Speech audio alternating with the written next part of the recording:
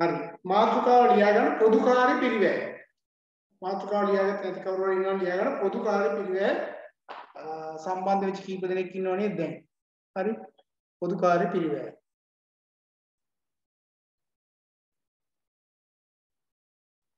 එතකොට පොදු කාර්ය පිළිවෙල කියන එක ඇතුළත් වෙන්නේ සම්පූර්ණ යම් නිෂ්පාදිතයක් නිෂ්පාදනය කරන්න යනකොට මේකේ තියෙනවා ඍජු පිළිවෙල කියලා සහ පොදු කාර්ය පිළිවෙල කියලා කොටස් දෙකක්. ඒතකොට ඍජු පිළිවෙල කියලා කියන්නේ ද්‍රව්‍ය ස්වභාවය සහ වෙනත් කියලා දෙන්න පුළුවන්.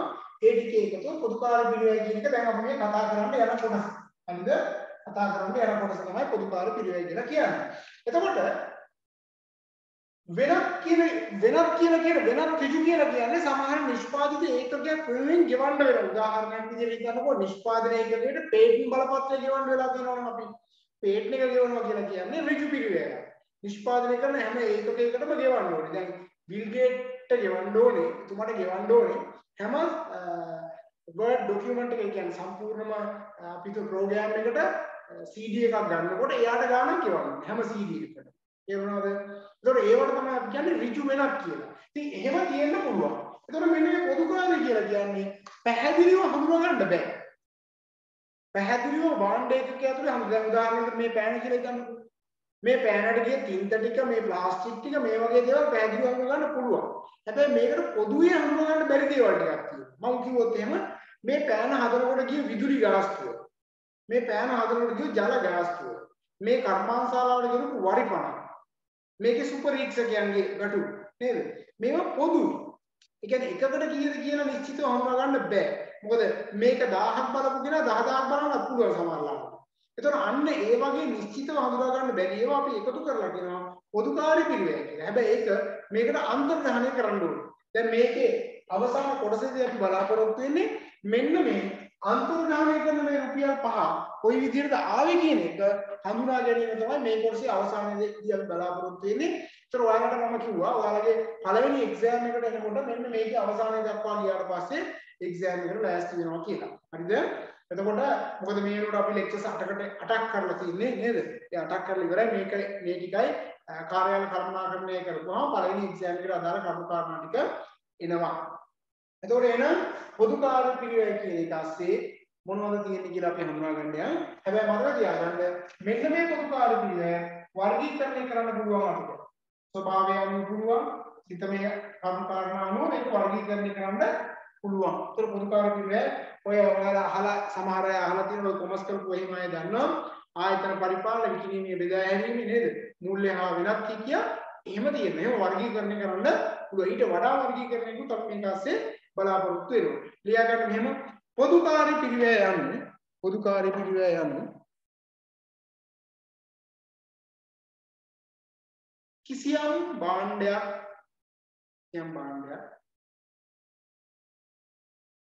නිෂ්පාදනය කිරීමට යාමේදී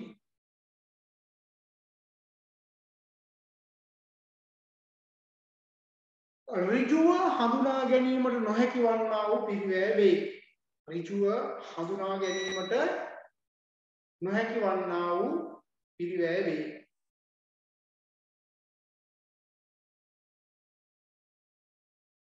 ඍජුව හඳුනා ගැනීමට නොහැකි වන්නා වූ පිරිවැය වේ. මෙම මෙම පිරිවැය මේ පොදුකාර්ය පිරිවැය කියවට කවන්න මෙම පොදුකාර්ය පිරිවැය ආයතනයක් තුල ආයතනයක් තුල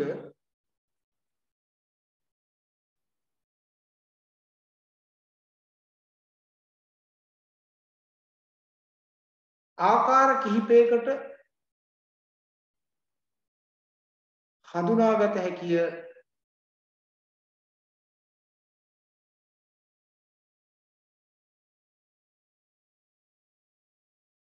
උදාහරණයක් ලියන්න උදාහරණ.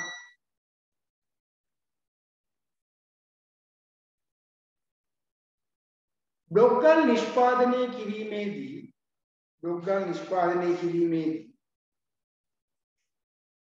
බ්ලොග්ගල් නිෂ්පාදනය කිරීමේදී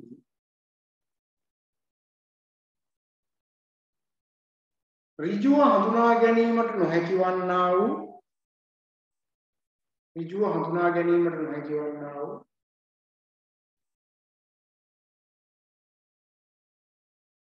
විදුලි ගාස්තු විදුලි ගාස්තු ගොඩනැගිලි කුලී ගොඩනැගිලි කුලී ජල ගාස්තු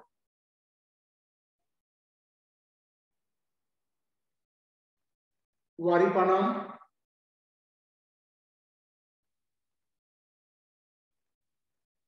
යන්ත්‍රශය ආදිය යන්ත්‍රශය ආදිය.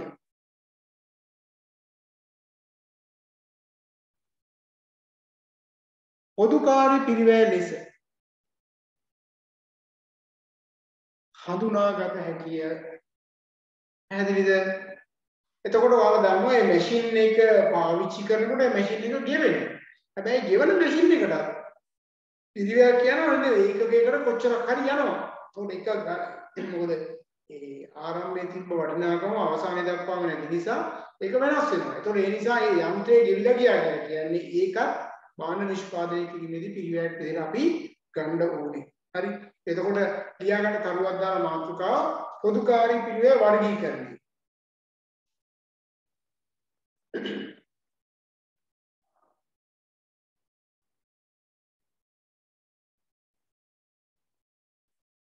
පොදුකාරී පිළිවෙල වර්ගීකරණය.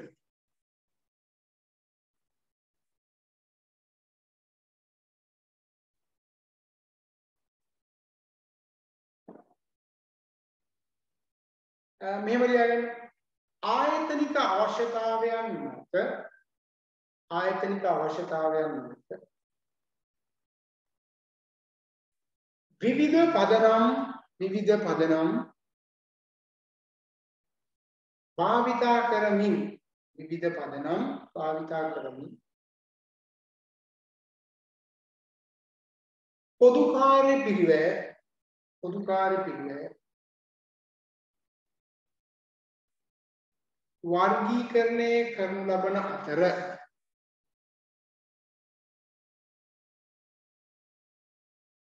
වර්ගීකරණය කරනු ලබන අතර ඒ තුල හඳුනාගත හැකි ඒ තුල හඳුනාගත හැකි වැදගත් පදනම් කිහිපයක් පහත පරිදි වේ.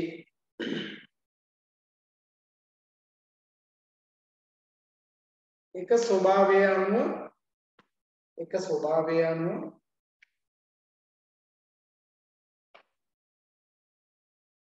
දෙක කාර්ය ශිතය අනුව කාර්ය ශිතය අනුව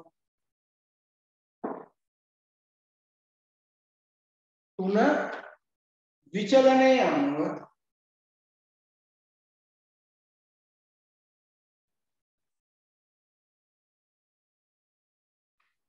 පහ පාලනය අනුව පහ පාලනය අනුව දැන් ඔය යටතේ මෙන්න මේ විදිහට පොදුකාර්ය පිළිවෙල වර්ගීකරණය කරලා දක්වන්න පුළුවන්. පැහැදිලිව දාගන්න මේකේ අවශ්‍ය වෙන ඒවා අපි ඊගාවට කතා කරමු. පොදුකාර්ය පිළිවෙල වර්ගීකරණය කරන්න පුළුවන් විදි ටික ඔන්න දාලා තිනවා. එක ස්වභාවය අනුව වක්‍ර ද්‍රව්‍ය, වක්‍ර ශ්‍රමය, අනිකුත් වක්‍ර වියදම්. හරි? ස්වභාවය අනුව වක්‍ර ද්‍රව්‍ය පිළිවෙල, වක්‍ර ශ්‍රම පිළිවෙල, අනිකුත් වක්‍ර වියදම්. එනත වක්‍ර වියදම් පිළිවෙල. අනිකුත් වක්‍ර වියදම් පිළිවෙල. කාර්ය සිතියන් අනුව නිෂ්පාදන පොදුකාර්ය පිළිවෙල, පරිපාලන පොදුකාර්ය පිළිවෙල, විකිණීමේ බෙදා හැරීමේ පොදුකාර්ය පිළිවෙල. විචලනය අනුව ස්ථාවර පොදුකාර්ය පිළිවෙල, විචල්්‍ය පොදුකාර්ය පිළිවෙල, අර්ධ විචල්්‍ය එනතම් අර්ධ ස්ථාවර පොදුකාර්ය පිළිවෙල. පාලනය අනුව පාලනය කළ හැකි පොදුකාර්ය පිළිවෙල, පාලනය කළ නොහැකි පොදුකාර්ය පිළිවෙල. දාගන්න පැහැදිලිව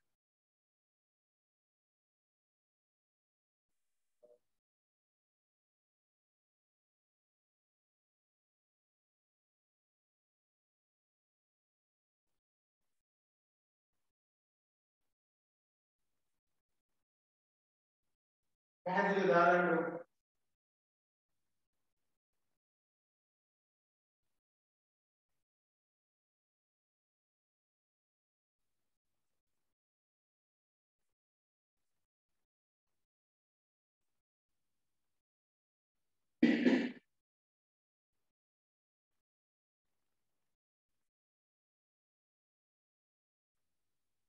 ස්වභාවයන්ව වක්‍ර ද්‍රව්‍ය පිළිවෙල වක්‍ර ශ්‍රම පිළිවෙල අනිකුත් වක්‍ර වියදම් පිරිවැය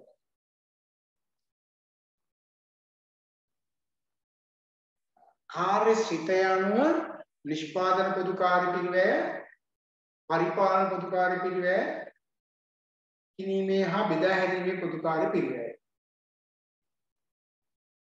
කිනීමේ හා බෙදා හැරීමේ පොදු කාර්ය පිරිවැය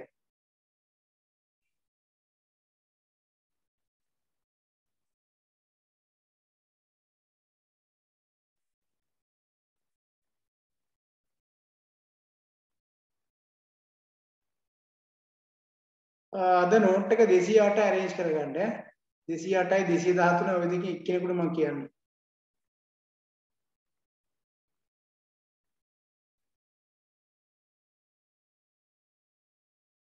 දෙසි අටයි දෙසි දහතුනයි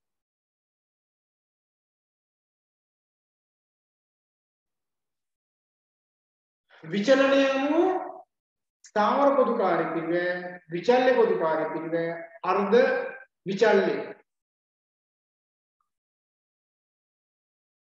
මේක මේ මේ මේක මෙහා පැත්තට ඇවිල්ලා ඒක මෙතනට ආපු එකක් නෙවෙයි ඈ මේ තියෙනව නේද? ඉකිනීම හා බෙදා හැරීමේ කියන කෑල්ල මෙහාට ගිහිල්ලා තියෙන්නේ. ඒ නිසා ඒක මෙහාට එන්න ඕනේ.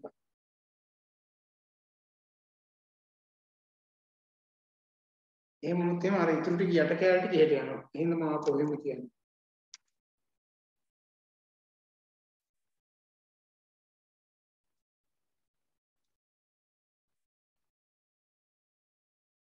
අර්ධ විචල්්‍ය පොදුකාර පිරිවැය හරි.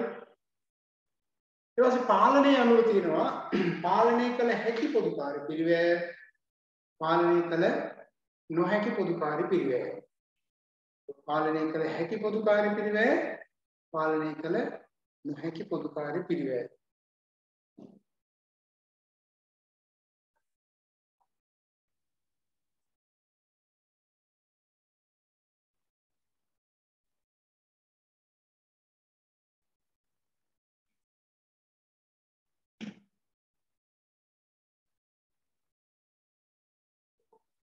මේකේ ඔක්කොම නෙවෙයි. වක්‍ර ද්‍රව්‍ය වක්‍ර සමය මේවා ප්‍රශ්නයක් නෑ. මේවා මම කෙටියෙන් නිකන් දෙන්නම්. චූටි අදහසක් දෙන්නම්. මේ විචලනය අනුව පොඩ්ඩක් විචල්්‍ය පිරිවැය ගැන පොඩ්ඩක් දැනගන්න ඕන නිසා අපි දෙමු. පාලනය කළා පාලනය කළ නොහැකි ඒවාත් අපි දන්නවා. ඒතර වක්‍ර ද්‍රව්‍ය කියලා කියන්නේ අපි දන්නවා ඍජුව හඳුනා ගන්න බැරි නම් එක වක්‍ර ද්‍රව්‍ය දැන් මෙහෙම බලා ගන්නකො. දැන් උපුවක් හදන්න යන ලී කියලා ගත්තොත් මේක ඍජුනේ. මේකට යන ලී ටික ඍජු. හැබැයි මේකට යන ඇඳ මේකේ ගන්න තීන්ත ඒක අපි ඍජුවම ගන්න යන හතරක්ද පහක්ද හයක්ද කියලා ගණන් කරන්න යන යන කිලෝ එකක් දෙනවා නම් කිලෝ එකට යන ගාන තමයි අපි බලන්නේ. තීන්ත නම් තීන්ත ලීටරකින් ගාන්නේ පුටු ගාන අනුව ඒ ගාන ගාන ගාන යනවා. එක පුටුවට තීන්ත මෙච්චරයි කියලා එහෙම ගණනය කරන්න යන්නේ නැහැ. තේරුණාද? එතකොට ඒවා මොනවද? වක්‍ර ද්‍රව්‍ය බවට පත් වෙනවා. හරි ඍජුව හඳුනා ගන්න බැරි ඒවා වක්‍ර ද්‍රව්‍ය පිළිවෙල. ශ්‍රමය කියලා හිතන්නකෝ. එතන වඩු කාර්මිකයා මේ එක පුටුවක් හදනවා නම් මේක හදන වඩු කාර්මික ශිල්පියාගේ. අපි කියන්නේ වඩඩගේ වඩඩගේ වැටුප. හරි ඒක ඍජු. හැබැයි මේ පිටු හදන හදන ඒවා ගොඩ ගහන කෙනා එහාට මෙහාට අරගෙන යන එක කර්මාන්තශාලාවේ අරගෙන යනවා නේද මේක. ඒතර එයාගේ වැටුප ගත්තොත් එහෙම අපිට කියන්න බෑ ඒක ඍජුයි කියලා. මොකද එයාගේ එක පුටුවකට මෙච්චරයි කියලා එයාගේ වැටුප ගණනය කරන්නේ නැහැ. ඒතර එයා ලේබ විදියට ඇවිල්ලා සම්පූර්ණ ආයතනයේදී මේ මෙහෙට ඔක්කොම කරනවා. ඒතකොට ඒවා ඇවිල්ලා වක්‍ර ශ්‍රමය. හරි. අනිකුත් වක්‍ර වියදම් කියලා අපි කිව්වේ එහෙම අර ඍජුව අඳුරා ගන්න බැරි වෙන ඒවා තියෙන නේද? එතකොට අර අපි ගත්තොත් එහෙම ඔය වාරිපණම් වගේ දේවල්, විදුලිය වගේ දේවල් ඒවා අනිකුත් වක්‍ර වියදම් වලට දාගන්න පුළුවන්. පැහැදිලිද? හරි. එතකොට ඒක ලියන්න ඕනේ නෑනේ. හැබැයි මේ නිෂ්පාදක උත්පාද පිළිවෙල පරිපාලන පොදුකාර පිළිවෙල විකිණීමේ බෙදාහරිය පොදුකාර පිළිවෙල කියන්නේ මොකක්ද කියන එක කෙටියෙන් මම දෙන්නම්. පළවෙනි එක දාගන්න නිෂ්පාදන පොදුකාර පිළිවෙල.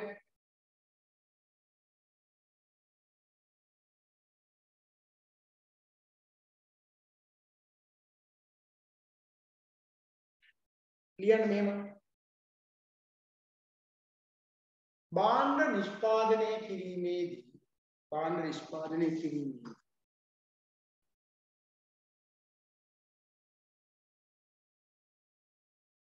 දැරීමට සිදුවන්නා වූ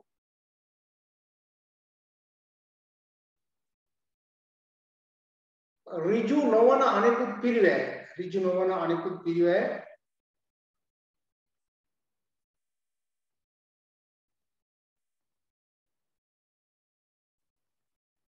නිෂ්පාදන පොදුකාර්ය පිරිවැය යටතට ඇතුළත් වේ.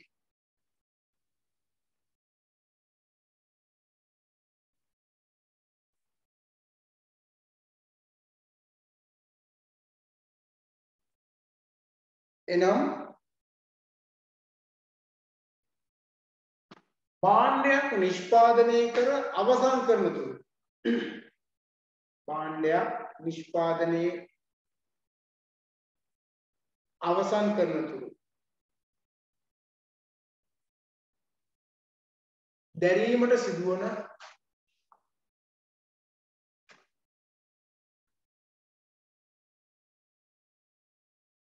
වක්‍ර පිරිවැයන්ගේ එකතුව වේ වක්‍ර පිරිවැයන්ගේ එකතුව වේ. දැන් ඔය ටික ඕන වෙනවා හේතුව අපි අර පදනම් බෙදන්න යනවා ඉදිරියේදී. එතකොටත් පාවිච්චි කරන්න වෙන උදාහරණ දාගන්න උදාහරණ.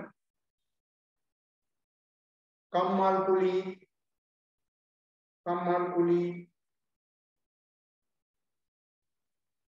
කම්හල් වරිපනම්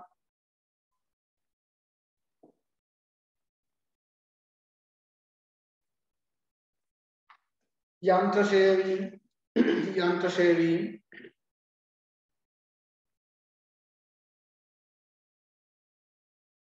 කම්මාංශ පරීක්ෂණ ගාස්තු.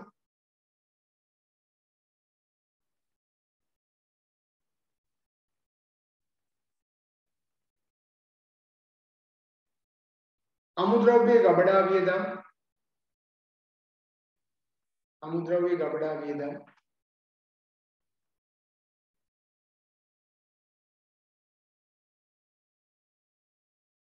කර්මාන්ත ශාලා සේවකයන්ගේ සුබ සාධන වියදම් කර්මාන්ත ශාලා සේවකයන්ගේ සුබ සාධන වියදම්. ତර මේවා ඔක්කොම අපි සලකන්නේ මොනවද?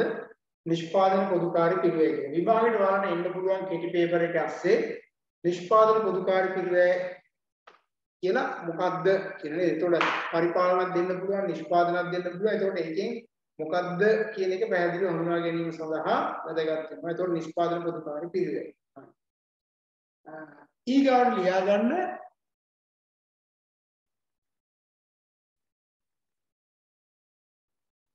පරිපාලන පොදුකාරී පිරිවැය. පරිපාලන පොදුකාරී පිරිවැය.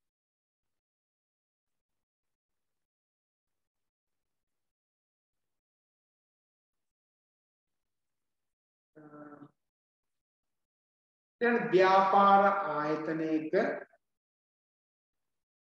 ව්‍යාපාර ආයතනයක මෙහෙයවීම මෙහෙයවීම මෙහෙයවීම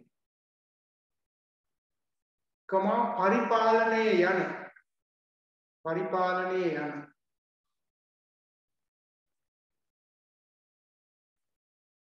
මේවා සම්බන්ධයෙන් මේවා සම්බන්ධයෙන්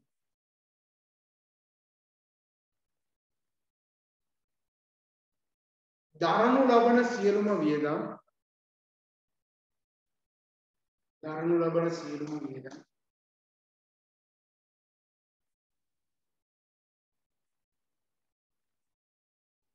පරිපාලන පොදුකාරී වියදම් ලෙස සැලකේ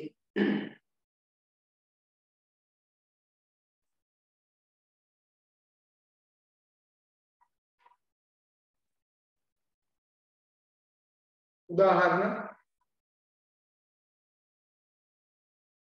කාර්යාල සේවක වැටුප කාර්යාල සේවක වැටුප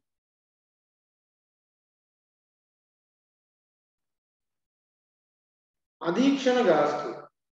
අධීක්ෂණ ගාස්තු.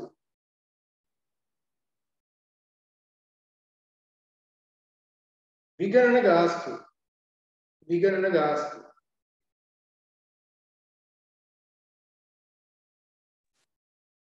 කාර්යාල කුලී.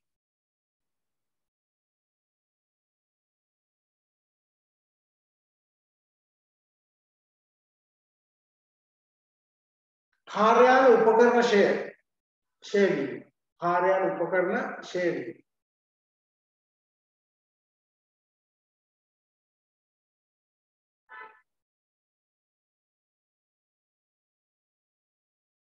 ගිරුම් වංශයේ වියදම්.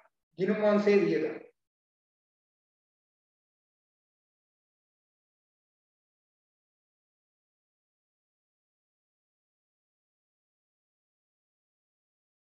කාර්යාල දුරකථන වියදම්.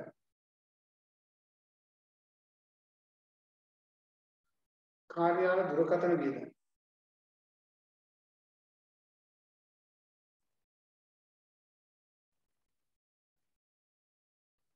නඩත්තු වියදම්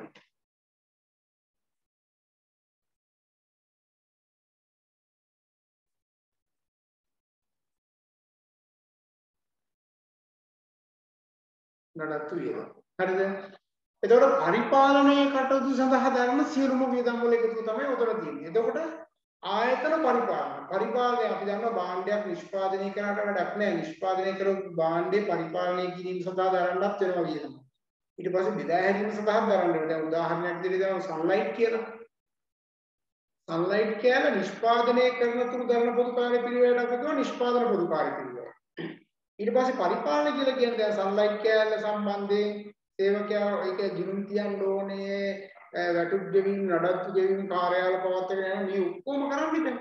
ඒතකොට ඒ මැද කොටසට වෙනවම ගෙවන්න ඕනේ. ඒකට පරිපාලන පොදු කාර්ය පිළිවෙල කියනවා. ඒතකොට ඊගාවට ඕක දැන් හදලා ඉවර වෙලා පරිපාලන කටයුතු කරාට පස්සේ ඊගාවට අපි මොකද කරන්නේ ඕකද විකිණීම සඳහා අපි මොකද කරන්නේ? විකිණීමේ හා බෙදා හැරීම සඳහා ඕක යොමු කරනවා. එතකොට ඔය කොමිස් කියවනවා නේද? එතකොට ප්‍රවාහනය කරන ලොරි වලට ගෙවන ගාස්තු එතකොට ඒවා ෂෙයා වෙන ඒවා නේද? මේවා ඔක්කොම විකිණීමේ හා බෙදා හැරීමට අදාළ වෙනවා. ඊයගන් ඊගායක විකිණීමේ හා බෙදා හැරීමේ පොදුකාර පිළිවෙල.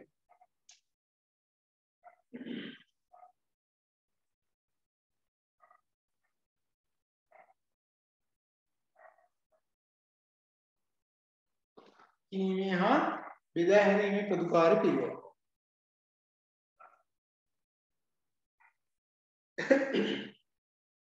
ලියාගන්න මෙහෙම භාණ්ඩ විකිණීමේ හා බෙදා හැරීමේ කටයුතු වලට අදාළ භාණ්ඩ විකිණීමේ හා බෙදා හැරීමේ කටයුතු වලට අදාළ සියලුම වක්‍ර පිරිවැයන්ගේ එකතුව සියලුම වක්‍ර පිරිවැයන්ගේ එකතුව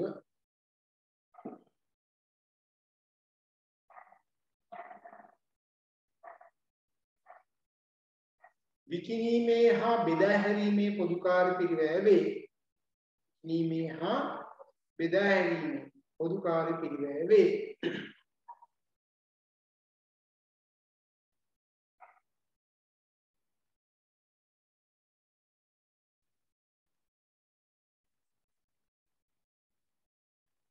උදාහරණ ප්‍රචාරණ වියදම් ඔයාලා දන්නවා දැන් ටීවී එකක් දැම්මට පස්සේ ටීවී එක කියන ඇඩ්වර්ටයිස්මන්ට් ප්‍රමාණය කොච්චරද කියලා නේද? එතකොට හිතා ගන්න බැරි තරම් ඇඩ්වර්ටයිස්මන්ට් එනවා ඒ ඒ සඳහා පිළිවෙලක් දරන්න වෙනවා. එතකොට ඒවා විකිණීමේ හා බෙදා හැරීමේ පිළිවෙල සාමාන්‍ය කොකා කෝලා බෝතලයක් නිෂ්පාදනය කිරීම සඳහා දැරීමට පිළිගන්න පිළිවෙල සමානලා රුපියල් 15ක් 20ක් අතර ප්‍රමාණයක් වේ. ඔක්කොම ඕන රුපියල් 30ක් කියන්නේ. හැබැයි කොකා කෝලා බෝතලේ රුපියල් 250කට 300කට විකුණන්න වෙලා තියෙන්නේ ඕකේ තියෙන විශේෂයෙන්ම විකිණීමේ හා බෙදා හැරීමේ පිළිවෙල අධික නිසා. ඒක තමයි ඇත්ත தත්ත්වය. ඊළඟ විකුණුම් කරුවන්ගේ වේතන හා කොමිස්. විකුණුම් කරුවන්ගේ වේතන හා කොමිස්.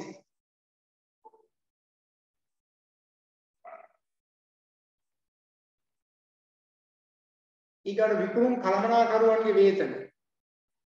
විකුණුම් කළමනාකරුවන්ගේ වේතන.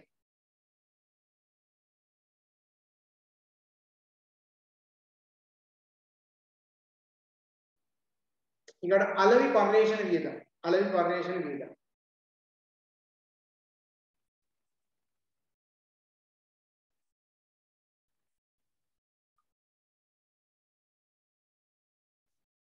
ඊගාට භාණ්ඩ ප්‍රවාහන වියදම්. භාණ්ඩ ප්‍රවාහන වියදම්.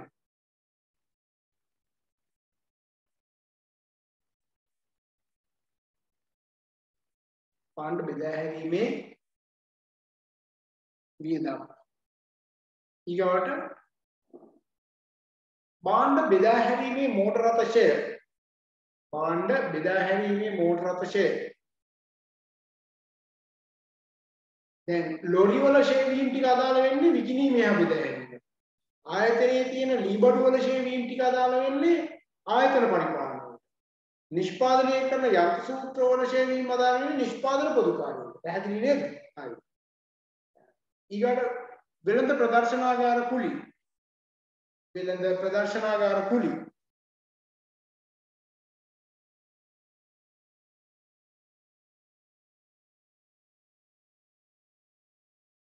ඊගාට විකිණීමෙන් පසු පාරිභෝගිකයන්ට සපයන සේවා සඳහා දරන වියදම් විකිණීමෙන් පසු භාණ්ඩ ප්‍රවාහනය සඳහා දරන වියදම් විකිණීමෙන් පසු පාරිභෝගිකයන්ට සපයන සේවා කියලා දැම්මත් කමක් නැහැ. ඒක සේවා සඳහා දරන වියදම්. මේ බලන්නකො. මෙතන අපි නිෂ්පාදනය කරන්නේ මම අර කිව්වා වගේ සබන්න. තර සබන් නිෂ්පාදනය කිරීමට අදාළ ඒවා නිෂ්පාදන පොදු කාර්ය. තර සබන් නිෂ්පාදනය කිරීමට අවශ්‍ය කරන යන්ත්‍ර සූත්‍ර එතකොට මෙතන ඉන්න සේවකයෝ අතිරේකව පාවිච්චි කරන සේවකයෝ මේ ආදී සියල්ලක්ම මේකේ ගොඩනැගිලි කුලි නේද මේකට අදාළ ගොඩනැගිලි කුලි විදුලිය රාක්ෂණය වරිපණ මේ ඔක්කොම නිෂ්පාදනය. දැන් මේ හදපු එක මෙතන දෙනවා ඒකට අපි කියන ආයතන පරිපාලන. දැන් පරිපාලන කියලා කියන්නේ මේ කටයුත්තට අදාළව සේවක පිරිසක් ඉන්නවා නේද? ඒතර මෙතන ඉන්න සේවකයා. සේවක රටු. හරිද? එතකොට මේවා ගිණුම් තියන්න ඕනේ. ඒතර බැංකු කටයුතු කරන්න ඕනේ නේද? මේ ඔක්කොම කරන්න ඕනේ. ඒතර මෙතන මේ මේ සඳහා අවශ්‍ය කරන කාර්යාල උපකරණ ලීබර්. ඒතර මෙන්න මේ ලීබර් ෂේර් වෙනවා. පරිගණක තියෙනවා. ඒතර මේ පරිගණක ෂේර් වෙනවා. ඒතර මේ ඔක්කොම ආයතන පරිපාලන ගුණ දාන්න. ඊට පස්සේ මෙතන මෙන්න දැන් හදපු භාණ්ඩ ඔක්කොම කරනවල විකිණීමේ හා බෙදා ගැනීම. විකිණීමේ හා බෙදා ගැනීම. මෙතන දානකොට මෙතන විකුණන විකුණු කරුවන්ට අදාළ වැටුප් කොමිෂන් ඒ අදාළ කළමනාකරුවන්ගේ වැටුප් විකුණුම් මාසේ ඉන්න ඔක්කොම දේවල් මෙතන අදාළ වෙනවා. එතකොට මෙන්න මේ භාණ්ඩ ප්‍රවාහණය කරනකොට අන්න අර ප්‍රවාහණය කරන ලොරි වලට මේ ලොරි වල ෂෙය ලොරි වලට යන වියදම් මේ ඔක්කොම මෙන්න මෙතන වෙනවා. තේරුණාද? දැන් අවසානයේ ගත්තාට පස්සේ මේ ඔක්කොම පොදු කාර්ය පිළිවෙල තමයි ඍජුව හඳුනා ගන්න බැරි. හැබැයි ඒවත් කොටස් කරන හඳුනාගෙන තියෙනවා. මේ ආයතන කෑල්ලට මේක, නිෂ්පාදන කෑල්ලට මේක, බෙදා හැරීමේ කෑල්ල මේක කියලා වෙන වෙනම හොයාගත්තා. පැහැදිලි නේද? හරි. එහෙනම් මේක මෙන්න මේකත් මම පොදුවේ චුට්ටක් කතා කරලා දෙන්න. ස්ථාවර පොදු කාර්ය පිළිවෙල, විචල්්‍ය පොදු කාර්ය පිළිවෙල, අර්ධ ස්ථාවර පොදු කාර්ය පිළිවෙල කියන එක. ක්‍රියාවට ස්ථාවර පොදුකාරී පිළිවෙල. ස්ථාවර පොදුකාරී පිළිවෙල. ස්ථාවර පොදුකාරී පිළිවෙල.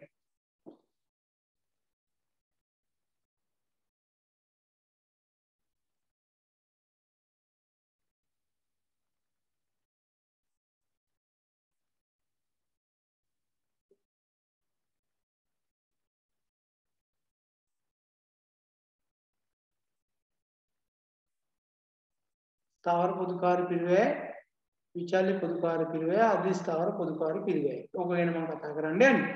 එතකොට ස්ථාවර පොදුකාර පිරිවැය කියලා කියන්නේ නිෂ්පාදිතේ යම්කිසි මට්ටමක් දක්වා රැගෙන යන තුරු වෙනස් නොවන්නා වූ පිරිවැයට අපි කියනවා ස්ථාවර පොදුකාර පිරිවැය කියලා. දැන් උදාහරණයක් විදිහට හිතන්නකෝ ගොඩනැගිල්ලක් ගන්නවා මේ ගොඩනැගිල්ලේ කුලිය රුපියල් 50000. හරිද? කුලිය රුපියල් 50000යි මේ ගොඩනැගිල්ල අපිට ගබඩා කරන්න පුළුවන් ඒකක හිතන්න 20000යි. 20000යි කියන්නේ. දැන් මොකද වෙන්නේ? 20000ක් දක්වා පිළිවෙල කියන එකක් තිබ්බත් 20000යි. sorry 50000යි. හැබැයි දෙකක් තිබ්බත් 50000යි. 19999ක් තිබ්බත් 50000යි. 20000ක් තිබ්බත් ගෙවන්න වෙන්නේ මට රුපියල් කීයද? 50000. හැබැයි 20000 එකක් වෙච්ච ගමන් මොකද වෙන්නේ? විසිදාස එකක් වෙච්ච ගමන් මේකේ දාන්න බෑ. ඒතකොට මට මේ එක්කෝ මේ වගේ තව ගබඩාවක් ගන්න ඕනේ. ඒතකොට ඒ ගබඩාව ගත්තොත් ඒකට සමානවට ආපහු රුපියල් 50000 ගෙවන්න එතකොට එහෙම වුණොත් එතෙන්ට යන්න පුළුවන් 40000 විතර. හැබැයි 40000 පැනපු ගම ආයෙත් ගබඩාවකට යන්න වෙනවා. හරිද? එතකොට මේ ස්ථාවර පිළිවෙල කියලා කිව්වොත් මේකත් හැමදාම ස්ථාවර නෙවෙයි. ඒතර ස්ථාවර එකේ ඉඳන් 20000 දක්වා ස්ථාවර. 20000 එකේ ඉඳන් 40000 දක්වා ස්ථාවර. පැහැදිලි නේද? ඊට වඩා වැඩි වුණොත් වැඩි වෙනවා. දැන් හිතන්නකෝ මම ක්ලාස් එකක් පටන් ගන්න යනවා. හෝල් එකක් ගන්නවා. ඒ හෝල් එකේ ළමයි 200ක් දාන්න පුළුවන්. එක ළමයෙක් හිටියත් රෙන්ට් එක මම ගෙවන්න ඕනේ 200ක් හිටියත් ගෙවන්න ඕනේ. හැබැයි 200 එකක් වුණොත් මට වෙන හෝල් එකකට යන්න. ඊට වඩා ලොකු හෝල් එකකට. එතකොට ඒ හෝල් එකේ සමානව 500 දක්වා විතරයි නම් පුළුවන් වෙන්නේ. ඒ දක්වා මට ගෙවන්න. දැන් උදාහරණයක් විදිහට දැන් මේ දවස්වල අපි හිතන්නකෝ මේ දවස්වල HRM එකේ ඉගෙනීම් කටයුතු මම කරනවා Zoom එකේ. හරිද? එතකොට Zoom එකෙන් කරද්දි මගේ ඉස්සල්ලාම පැකේජ් එක තිබුණේ 500 පැකේජ් එකක්. ඒතර 500 පැකේජ් එකට මම සාමාන්‍ය අද රුපියල් 28000ක් විතර වගේ ගෙවනවා. හරි? ඒතර 500 දක්වා විතරයි මට ඒක පුළුවන්. ඒතර 500 පැනපු ගමන් මොකද වෙන්නේ? මට සිද්ධ වුණා ඊගා පැකේජ් එකේ තියෙන්නේ 1000 එකක්. ඒතර 1000ට යනකොට මට රුපියල් 60000කට ආසන්න ප්‍රමාණයක් මම ගෙවන්න ඕනේ. ඒතර දැන් තියෙන්නේ 1000 පැකේජ් එකක්. ඒතර මම 1000ට යන්නකම් මට ප්‍රශ්නයක් නැහැ 60000ක් ගෙවලා ඉන්න පුළුවන්. හැබැයි ළමයි එක්කෙනෙක් හිටියත් මම 60000ක් ගෙවනවා. ළමයි 999ක් හිටියත් මම කීයක් ගෙවනවද? රුපියල් 60000ක් ගෙවනවා. හැබැයි ඔන්න 1000 පැනපු ගමන් මට ආපහු යන්න 1500 පැකේජ් එකට නේ. ඒ නිසා මේකත් සමහර අය හිතා ඉන්නවා ස්ථාවර කිව්වොත් දිගටම ස්ථාවරයි කියලා. හැබැයි එහෙම එකක් නෙවෙයි. යම් මට්ටමක් දක්වා ස්ථාවරයි ඊට පස්සේ තවදුරටත් වැඩි ගන්නේ නම් මේ ස්ථාවර පිළිවෙල වැඩි වෙනවා. ඒතර මේ ස්ථාවර පිළිවෙල වක්‍රය ගත්තොත් මෙන්න මෙහෙම තියෙන්නේ වා. දැන් මෙන්න මෙහෙම තමයි තියෙන්නේ. හැබැයි මේක ඔහොම ගිහිල්ලා ඔහොම වෙන්න පුළුවන්. හරි? ඒකයි මේ මට්ටම දක්වා දැන් හිතන්න මෙතන පිළිවෙල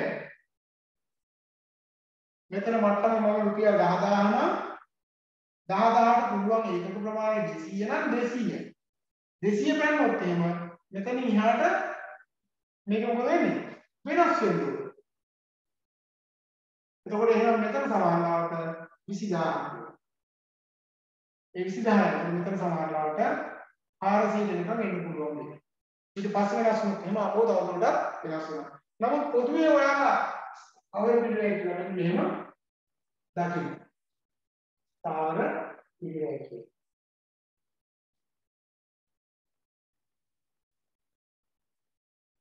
කියලා. වක්‍රය ගත්තොත් ඔහොම තමයි පෙන්වන්නේ. ඒතර මේ පෙන්වන්නේ මෙන්න මේ කෑල්ල පෙන්වන්නේ. තේරුණා? මෙන්න මේ කෑල්ල තමයි මේ පෙන්වන්නේ. දිගටම යනව නෙවෙයි. හරි? ලියාගන්න මෙහෙම ස්ථාවර පිළිවෙල යන්නේ.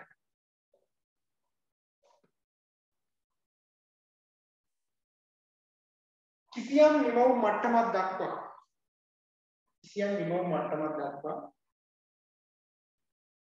පිරිවැය වෙනස් නොවන්නා වූ පිරිවැය වෙනස් නොවන්නා වූ තත්වයක් වේ.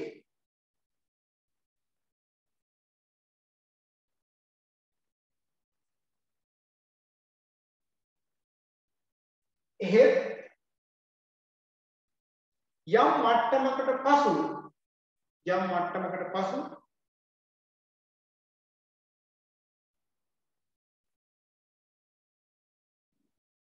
යම් මට්ටමකට පසු.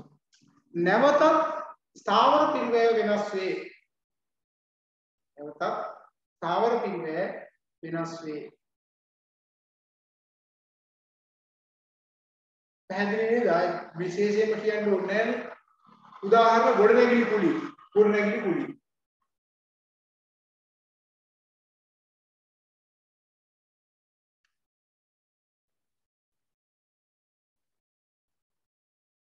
ගොඩනැගිලි කුලි. හරි එතකොට ගොඩනැගිලි කුලි යම් මට්ටමක් දක්වා එනම් ස්ථාවරය තවදුරටත් වැඩි වුණොත් එහෙම වැඩි වෙනවා. මේ රූපසාම දෙකම දාගන්න මෙතන පිළිවෙල මෙතන ප්‍රමාණය. මම 100යි 200යි 400යි කියලා දැම්මේ මේ දෙකම නිකන් දැනගෙන ඉන්න සඳහා දාගන්න.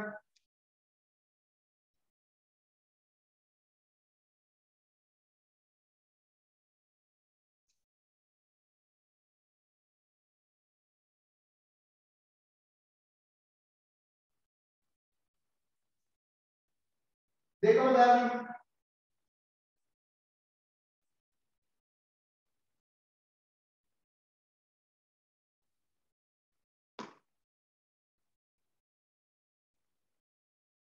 Déjame darme.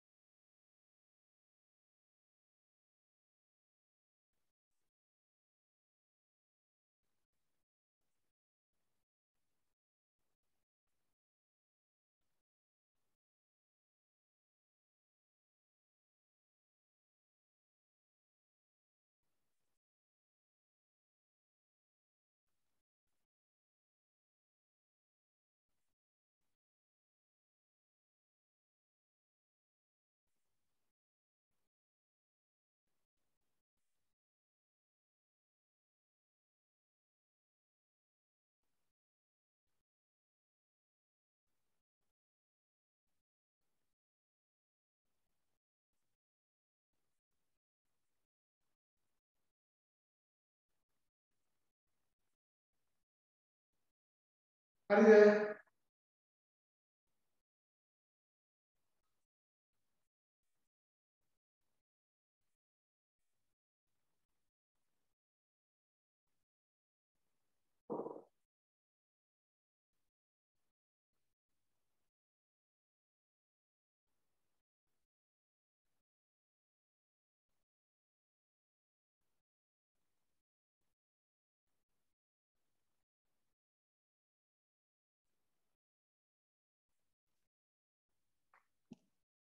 දෙකම දාගන්න හරිද හරි ඊගොල්ලෝ ලියගන්න විචල්්‍ය පිළිවෙල විචල්්‍ය පිළිවෙල විචල්්‍ය පිළිවෙල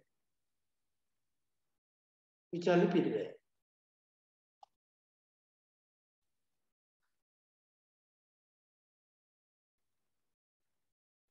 දැන් විචල්්‍ය පිළිවෙල කියලා කියන්නේ නිෂ්පාදනයේ ඒකක බිඳුවේදී තමයි බිඳුවේදී බිඳුවයි බිඳුවේදී කිසිම පිළිවෙලක් ගන්න වෙන්නේ නැහැ හැබැයි ස්ථාවර පිළිවෙල බිඳුවේදී දරන්න වෙනවා. මොකද ගොඩනැගිල්ල කලින්ම ගන්න එපා නේද? අපි සල්ලි දීලා. හැබැයි මේකෙදි විචාර පිළිවෙල කියලා කියන්නේ මෙන්න මේ වගේ.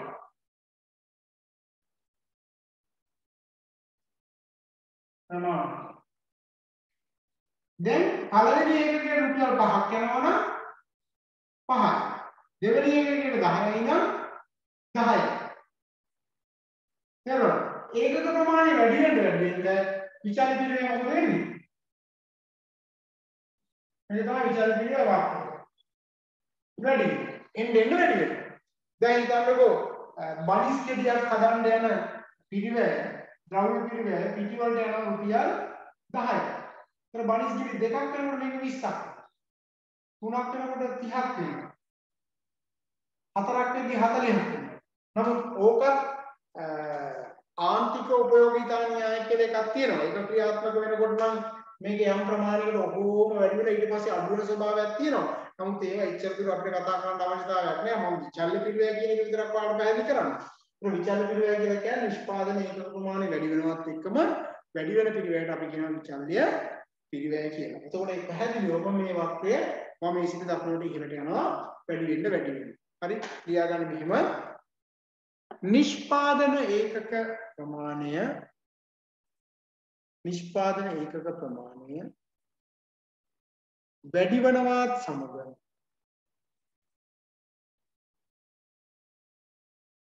වැඩි වන්නා වූ පිරිවැය වේ.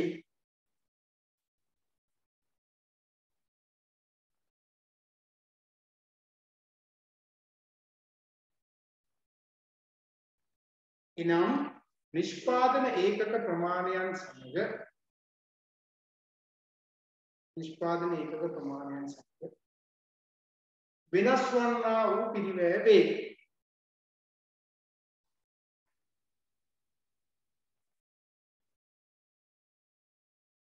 හරි වෙනස් වන්නා වූ පිරිවැය වේ. විචල්්‍ය පිරිවැය වක්‍රය වමේ සිට දකුණට ඉහළට බෑවුම් වේ. ඒතර මේක බෑවුම් කියලා කියන්නේ උඩට ඈ. වමේ සිට දකුණට ඉහළට බෑවුම් වේ.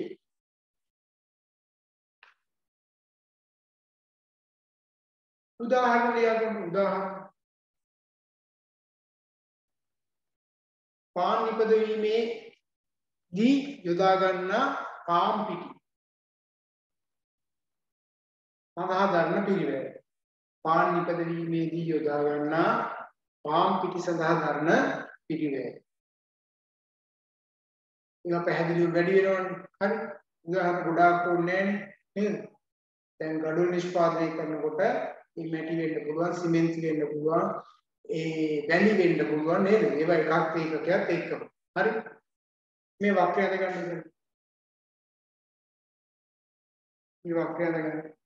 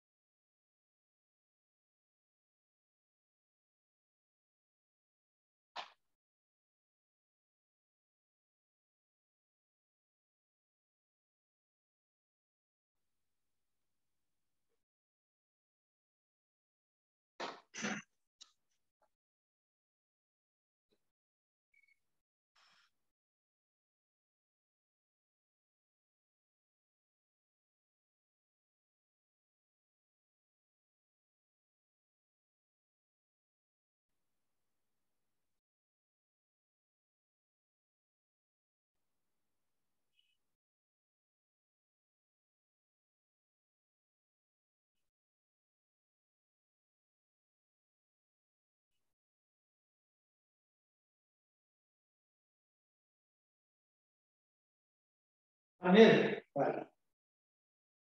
ඊගොල්ලෝ යන අර්ධ ස්ථාවර නැත්නම් අර්ධ විචල්්‍ය පිළිවෙල. අර්ධ ස්ථාවර නැත්නම් අර්ධ විචල්්‍ය පිළිවෙල.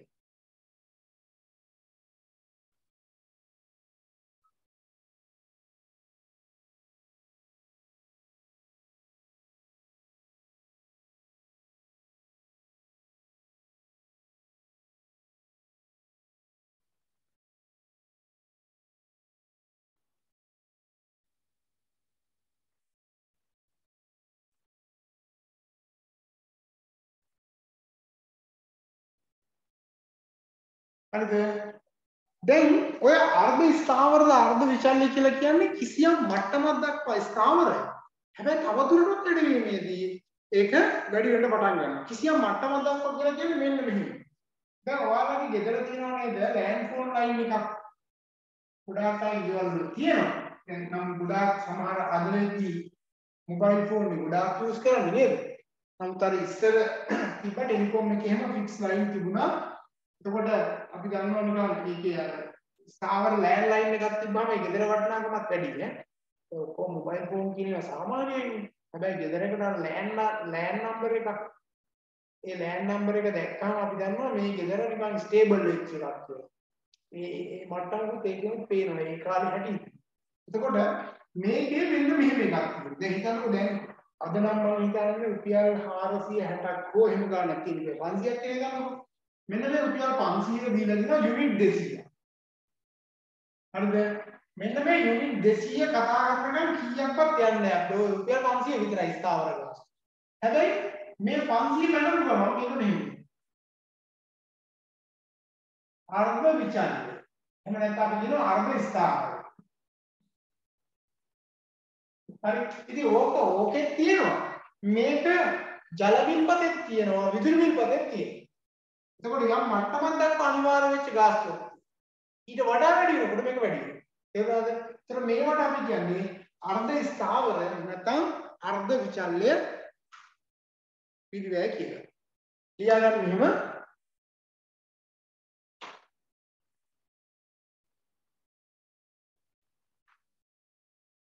කිසියම් මට්ටමක් දක්වා කිසියම් මට්ටමක් දක්වා පිරිවැය නොවෙනස් වන අතර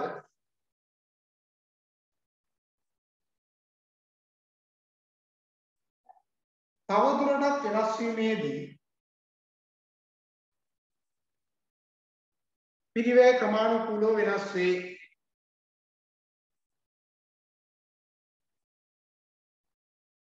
ඒ අනුව ආරම්භක මට්ටමේදී ස්ථාවර වන අතර ස්ථාවර වන අතර ඉන්පසු විචල්්‍ය වේ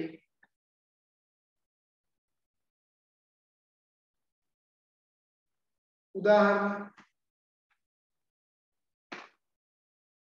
ස්ථාවර දුරකථන ගාස්තු බිල් ස්ථාවර දුරකථන ගාස්තු බිල් විදුලිය ජලය දැන් මේ රූප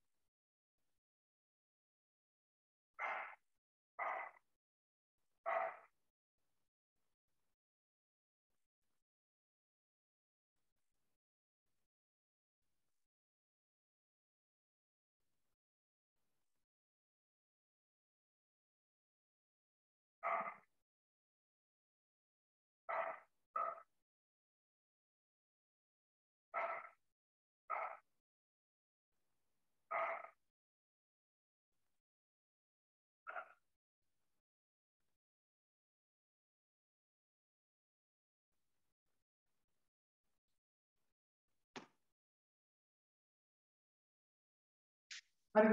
මේ රූප සටහන හදාගන්න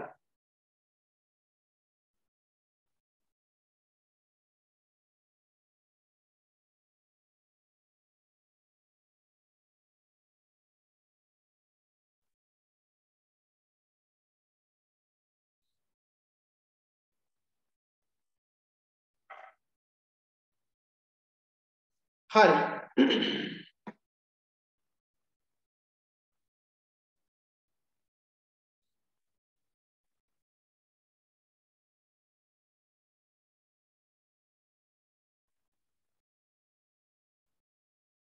ඊට පස්සේ පාලනය කළ හැකි පොදු කාර්ය පිළිවෙල සහ පාලනය කළ නොහැකි පොදු කාර්ය පිළිවෙල. ඒකත් මම කෙටියෙන්ම දෙන්නම් ලියා ගන්න මෙහෙම.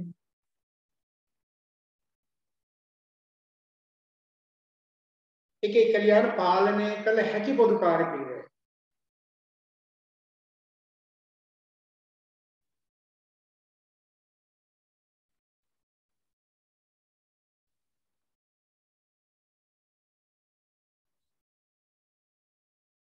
පිළිවෙල. ලියන කළමනාකරන තීරණ මත කළමනාකරන තීරණ මත පාලනය කළ හැකි පොදුකාරය පිළිවෙල පාලනය කළ හැකි පොදුකාරය පිළිවෙල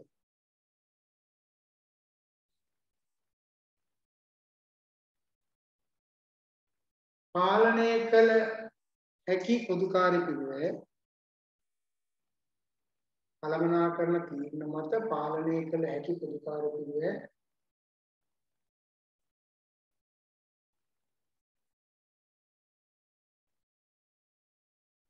මින් අදහස් කෙරේ.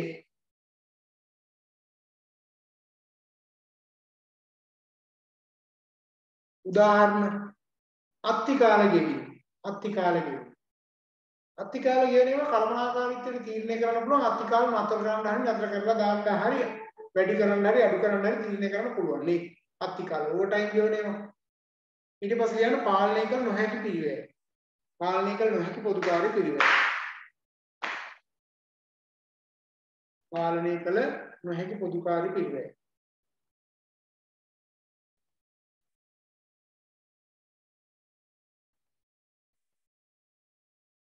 කළමනාකරන තීරණ මත කළමනාකරන තීරණ මත. පාලනය කළ නොහැකි වන්නා වූ පිරිවැය වේ.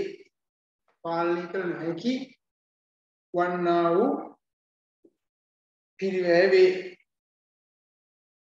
කළමනාකාරීත්වයට තීරණය කරන්න බෑ. ඒක වෙනස් කරනවද නැද්ද කියන එක කොහොමදවත් කරන්න බෑ. උදාහරණ අපතේ අපතේ දැන් මේක හිතන්නකෝ මේ තියෙන අපතයන් කියන එක. දැන් හිතන්න මහාන රෙදි මහානවා රෙදි මහානට මේ වගේ කෑලි කෑලි කැපිලා යනවා නේද? දැන් ඉතින් කෑලි කෑලි කැපිලා යනවා ඒතර ඒවා වෙනස් කරන්න බෑ. කල්පනාකාරීත්වයට තීරණය ගත්තත් වෙනස් කරන්න බෑ.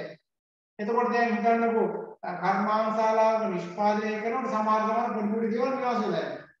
නේ සිමෙන්ති නිෂ්පාදනය කරන තැනක සිමෙන්ති වෙන්න පුළුවන් දොග්ගල් නිෂ්පාදනය කරන තැනක ඒක වෙන්න පුළුවන් මෙටල් වෙන්න පුළුවන් වැලි වෙන්න පුළුවන් යම් ප්‍රමාණයක් යනවා අනිවාර්යෙන් අපතේ යනවාමයි ඒතර ඒව වෙනස් කරන්න බෑ. හරි? ඒතර ඒවට පාලනය කරන නොහැකි වෙයි කියලා අපි කියනවා. ඒතර ඒක කළමනාකාරීත්වයේ තීරණයක් මත සිද්ධ වෙන එක නෙවෙයි. හරි? එහෙනම් ඔන්න මම පොදුකාර පිරිවැය තත්ත්වයන් මූලික වර්ගීකරණයන් කතා කරා. හරි?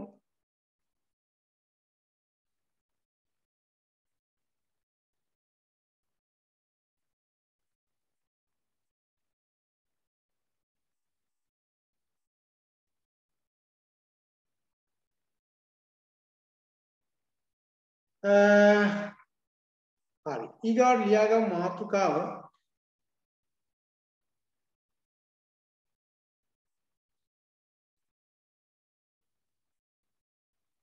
පොදුකාරී පිරිවෙය බෙදා හැරීමේ ක්‍රියාවලිය.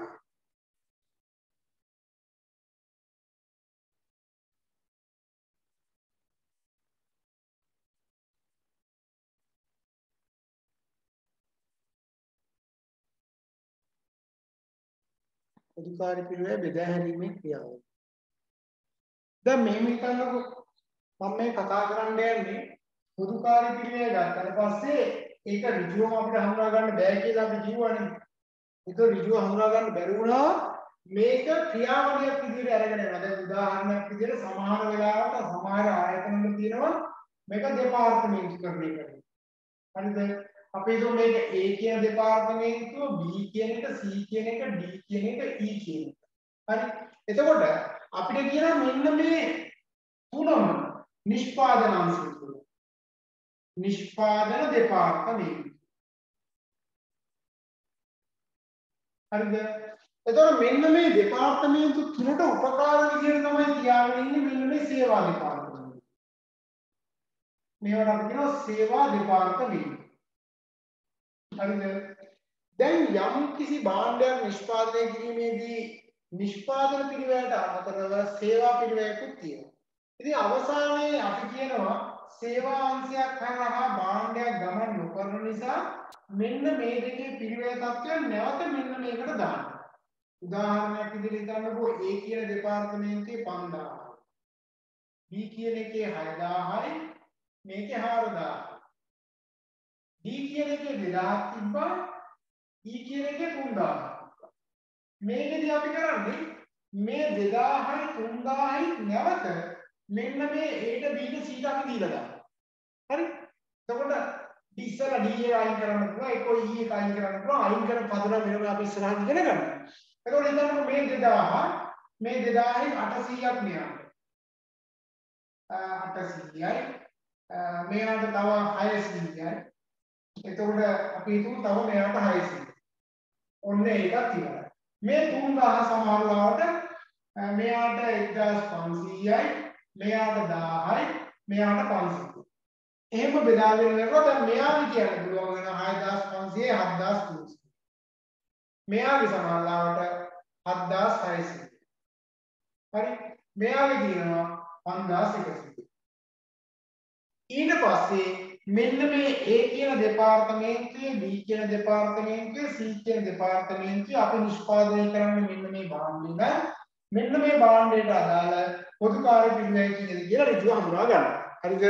එතකොට මේකේ ඍජු පිළිවෙලෙන් එකතු රුපියල් 18යි නම් මේකේ පොදු කාර්ය පිළිවෙල සඳහා රුපියල් 4යි නම් අන්න අවසාන වශයෙන් අපි මේ රුපියල් 22යි කියලා තීරණය කරනවා.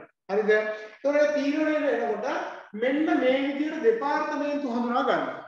ඒවට අපි කියනවා නිෂ්පාදන දෙපාර්තමේන්තු, සේවා දෙපාර්තමේන්තු. අවසානයේ නිෂ්පාදන දෙපාර්තමේන්තුවට සේවා දෙපාර්තමේන්තු වලවත් අපි බෙදලා දානවා. ඊට පස්සේ අවසානයේ ඒක මේක පිළිවෙල හොයා ගැනීම සඳහා මෙන්න මේ දෙපාර්තමේන්තු සඳහා හඳුනා ගැනීමේදී පදනම් පාවිච්චි කරනවා. අපි කියනවා අන්තර්ගාන අනුපා අන්තර්ගාන පදනම් කියනවා. හරි? ඒ පදනම් ටික කලබල වෙන්න ඕනේ අපි එකිනෙක එකිනෙක එකිනෙක හිමීට කතා කරගෙන කතා කරගෙන යනවා. ඒතොර ඒ අදාළව දෙපාර්තමේන්තු හඳුනා ගන්නේවා, සේවා දෙපාර්තමේන්තු හඳුනා ගන්නේවා, සේවා දෙපාර්තමේන්තු වල නිෂ්පාදන දෙපාර්තමේන්තු වල බෙදනේවා, ඊට පස්සේ අදාළ දෙපාර්තමේන්තුවක තියෙන ඒවා කොහොමද අන්තර්ග්‍රහණ අනුපාතය පාවිච්චි කරලා ඒකකයක් කොහොමද හොයාගන්නේ කියන එක තමයි අපි මේ අවසානයේදී බලාපොරොත්තු වෙන්නේ මේකේ අවසානයේටම අපි ඉද්දී. ඒතර මම එහෙනම් මෙන්න මේ පොදුකාර පිළිවෙල බෙදාගෙන මේ ක්‍රියාවලිය යටි මෙන්න මේ දේ කරනවා කියන එක තමයි මතක් කරන්න යන්නේ. ලියා ගන්න මෙහිම පොදුකාරී පිළිවෙල පොදුකාරී පිළිවෙල බෙදා හැරීමේ ක්‍රියාවලියේදී පොදුකාරී පිළිවෙල බෙදා හැරීමේ ක්‍රියාවලියේදී මුලින්ම මුලින්ම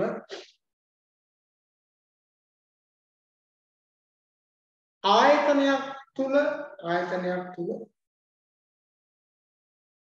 පවතිනා වූ නිෂ්පාදන දෙපාර්තමේන්තුව.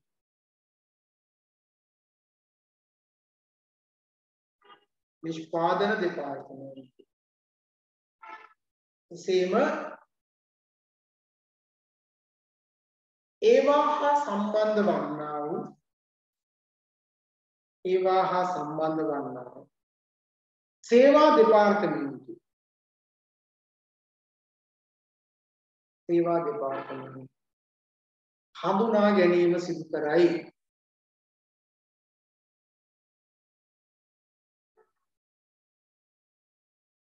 අනතුරුව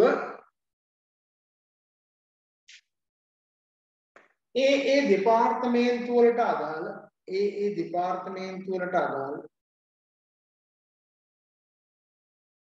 පොදුකාර්ය පිරිවැය. පොදුකාර්ය පිරිවැය. පොදුකාර්ය පිරිවැය හඳුනා ගැනීම. පොදුකාර්ය පිරිවැය හඳුනා ගැනීම. සිදු කරන අතර සිදු කරන අතර ඉන් අනතුරුව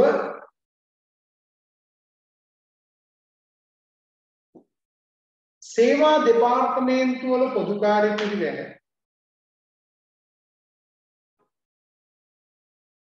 සේවා දෙපාර්තමේන්තු වල පොදුකාර්ය පිළිවෙල නැවත නැවත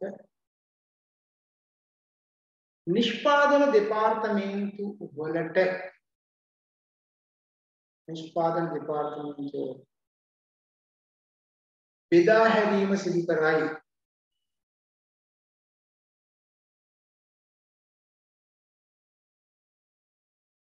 බෙදා හැරීම සිදු කරයි. අවසානයේ විවිධ පදනම් භාවිතා කරන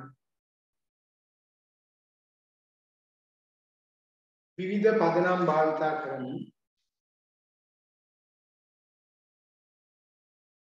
නිෂ්පාදන දෙපාර්තමේන්තුවල පොදු කාර්ය පිළිවෙල.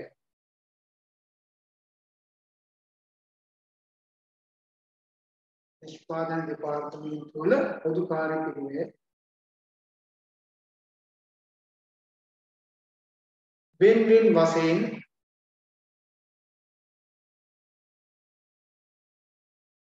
අදාළ භාණ්ඩය සඳහා අදාළ භාණ්ඩය සඳහා. අන්තර්ගත වන්නා වූ පිළිවෙල හඳුනා ගනී. අන්තර්ගත වන්නා වූ පිළිවෙල හඳුනා ගනී. ඔක මම ඔය සරලව කිව්වේ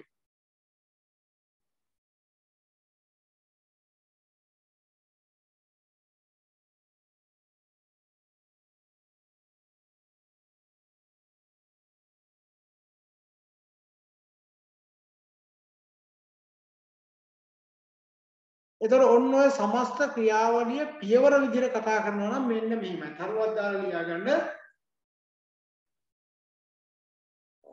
පොදුකාරී පිරිවේ බෙදා හැරීමේ ක්‍රියාවලිය පොදුකාරී පිරිවේ බෙදා හැරීමේ ක්‍රියාවලිය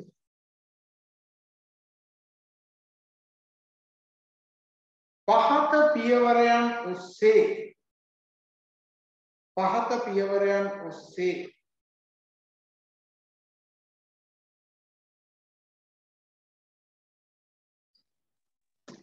සිදු කරනු ලබයි. පහත පියවරයන් ඔස්සේ සිදු කරනු ලබයි. දැන් ওই පියවර තමයි තියෙන පොදුකාරී පිළිවෙල රැස් කිරීම පිළිවෙල මධ්‍යස්ථාන වල වෙන් කිරීම ඒකේ පොදුකාරී පිළිවෙල ප්‍රතිපාදනය පොදුකාරී පිළිවෙල විභාජනය සේවා මධ්‍යස්ථාන වල පොදුකාරී ක්‍රියා නිෂ්පාදන මධ්‍යස්ථාන අතර විභාජනය ඔය ඉගෙන ගන්න නෑ කලබල වෙන්න එපා. අන්තර්ගාමී අන්තර්ගාමීන්ට පොදුකාරී ක්‍රියා අන්තර්ගාම අනුපාත නිර්ණය කිරීම අදාළ අනුපාතය යොදාගෙන ඒකකයට දාලා පිළිවෙල නිගමනය කිරීම කියන තැන එනකම් එන ඔය ඔය පියවර තමයි අපි ඉස්සරහට ඉස්සරහට එකිනෙකට එකිනෙකට කතා කරගෙන ඉස්සරහට යන්න තියෙන්නේ. එක පොදුකාරී පිළිවෙල රැස් කිරීම. පොදුකාරී පිළිවෙල රැස් කිරීම.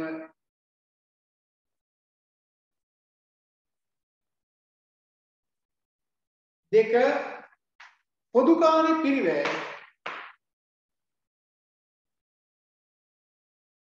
පොදුකාරී පිරිවැය. පිරිවැය මධ්‍යස්ථාන වලට. පිරිවැය මධ්‍යස්ථාන වලට. වරහණක දෙපාර්තමේන්තු වලට කියලා දාන්න. දෙපාර්තමේන්තු කියන වචනේ පාවිච්චි කරනවා. පිරිවැය මධ්‍යස්ථාන වලට වරහණක දෙපාර්තමේන්තු වලට. වරහන් වහලා වෙන් කිරීම. ඒක කරන ආකාර කීපයක් තියෙනවා. ඒකේ පළවෙනි එක රෝම ඉලක්කම් 1 2 3 කියලා දැම්මත් කමක් නැහැ.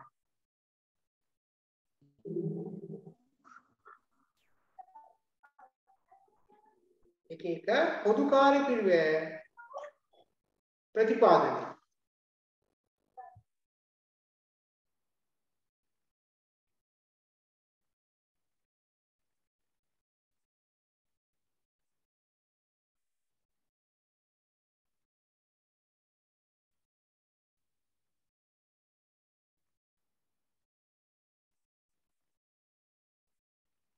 පොදුකාරී පිරිවැය ප්‍රතිපාදනය. දෙක පොදුකාරී පිරිවැය විභාජනය. පොදුකාරී පිරිවැය විභාජනය. විභජනය කියලාත් අපි කියන්නේ පොදුකාරී පිරිවැය විභාජනය. තුන සේවා මධ්‍යස්ථාන වල එහෙම නැත්නම් සේවා දෙපාර්තමේන්තුව වල සේවා මධ්‍යස්ථාන වල එහෙම නැත්නම් අපි කියනවා සේවා දෙපාර්තමේන්තු වල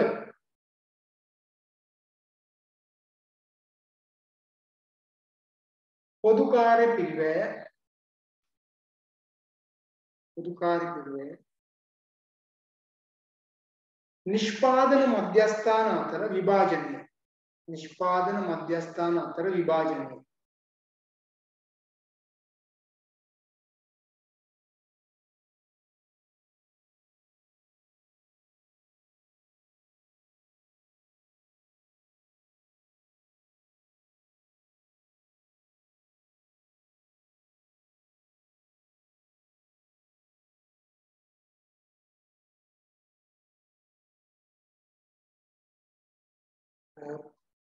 තුන්වෙනි ප්‍රධාන කාරණාව අන්තර්ග්‍රහණය කිරීම. අන්තර්ග්‍රහණය කිරීම.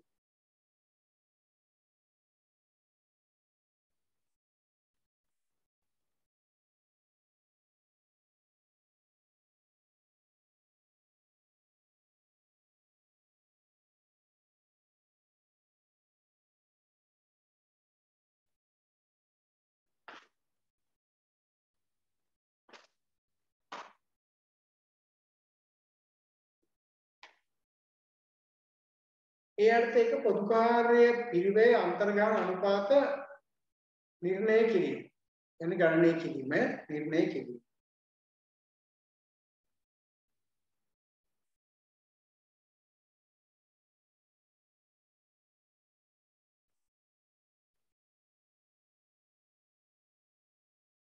ඊගොක අදාළ අනුපාත යොදාගෙන අදාළ අනුපාත යොදාගෙන ඒකකයකට අදාළ ඒකකයකට අදාළ පොදුකාර්ය පිරිවැය නිගමනය කිරීම.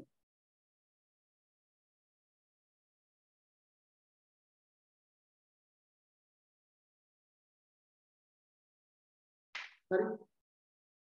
එතකොට ඔන්න ඔය පියවරයන් තමයි අපි කතා කරන්න බලාපොරොත්තු වෙන්නේ.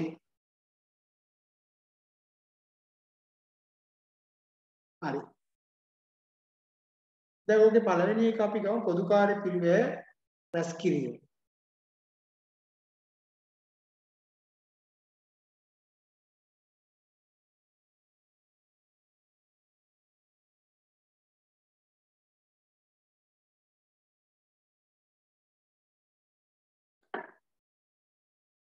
එතකොට මෙන්න මේකෙදි වෙන්නේ ආයතනයක් තුල තියෙනා වූ පිරිවැය තත්ත්වයන් හඳුනා ගැනීම තමයි මේකෙදි සිද්ධ වෙන්නේ. වියදම් වුණා කියලා හොයාගන්න බෑ. අපි කියන වියදම් වුණා කියලා හඳුනා ගන්න මූලාශ්‍ර කීපයක් තියෙනවා.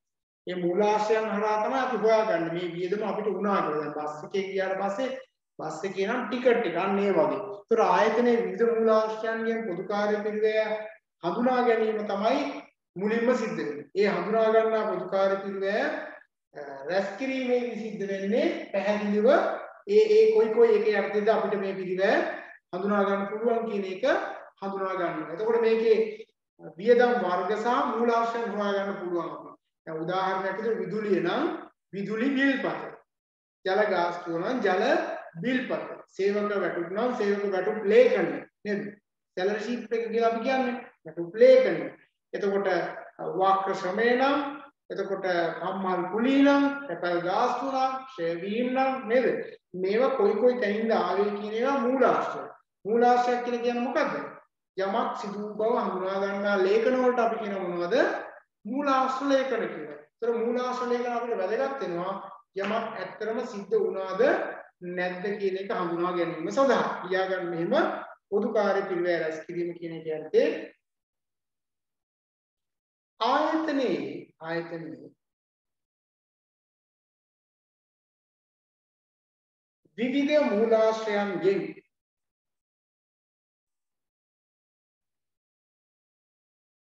විවිධ මූලාශ්‍රයන්ගෙන් පොදු කාර්ය පිරිවැය. පොදු කාර්ය පිරිවැය. හඳුනා ගැනීම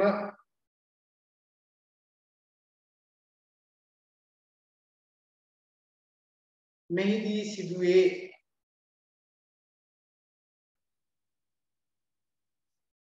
ඒ අනුව එක් එක් ශීර්ෂයන් යටතේ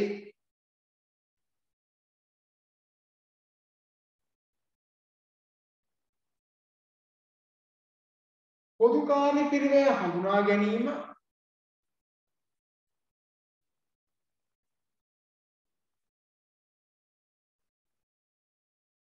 මෙහිදී සිදු කරයි.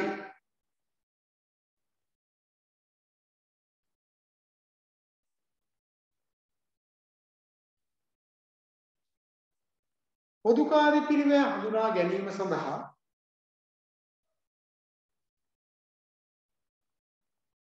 මූලාශ්‍ර ලේඛන මූලාශ්‍ර ලේඛන භාවිතා කරනු ලබයි.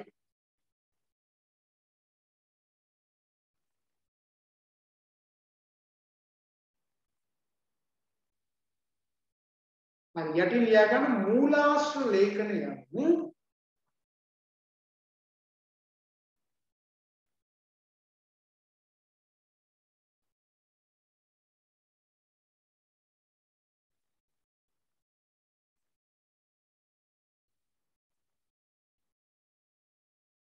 මූලාශ්‍ර ලේඛන යන්නේ කිසියම් වියදමක්. එහෙම නැත්නම් වරහන් පිරිවැයක්. යම් වියදමක් පරායන කරන පිළිවෙල සිදු වූ බව.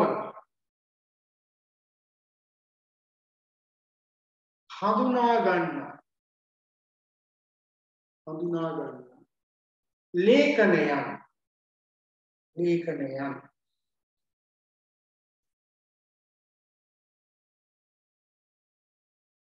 මූලාශ්‍ර ලේඛන ලෙස. මූලාශ්‍ර ලේඛන ලෙස. හඳුනා ගනී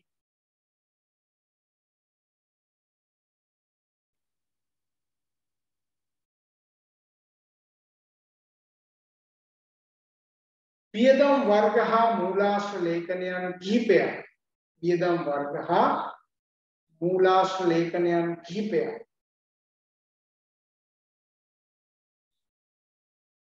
පහත පරිදි හඳුනා ගත හැක.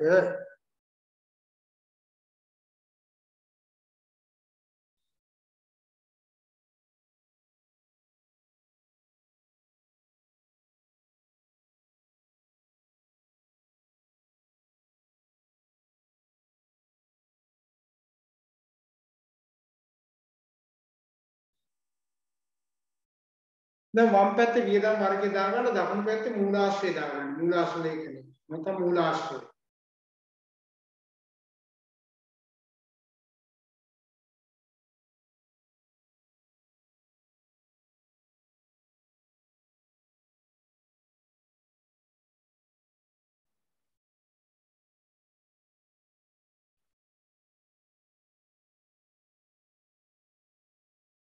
වියදම් වර්ගය දාන කම්හල් ගෙවල් කුලි. කම්හල් ගෙවල් කුලි. තව කම්හල් කියපුවම ඒක අදාළ වෙන්නේ මොකද්ද? නිෂ්පාදන පොදුකාරය කියලා හොයාගන්න පුළුවන්. කම්හල් ගෙවල් කුලි. ඒතර කම්හල් ගෙවල් කුලි සඳහා අදාළ වෙන්නේ බදු කර ඔප්පු ගිවිසුම්.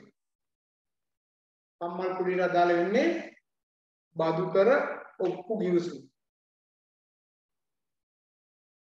බදු කර ඔප්පු ගිවිසුම්.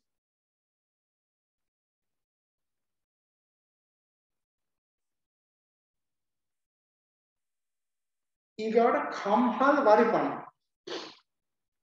කම්හල් වරිපණ.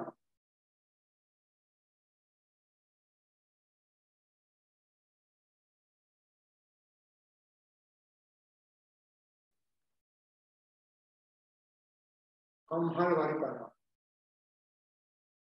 පළාත් පාලන ආයතන වරිපණම් තක්සේරු. පළාත් පාලන ආයතන වරිපණම් තක්සේරුව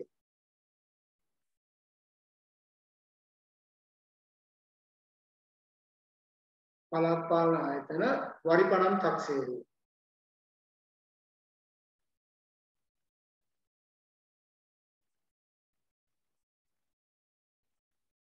ඊගොඩ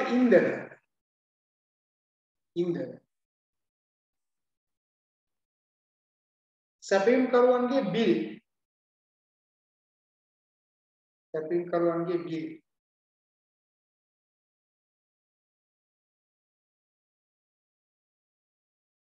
ඊගොඩ කම්හල් ලිපි ද්‍රව්‍ය කම්හල් ලිපි ද්‍රව්‍ය සැපින්කරුවන්ගේ බිල් සැපින්කරුවන්ගේ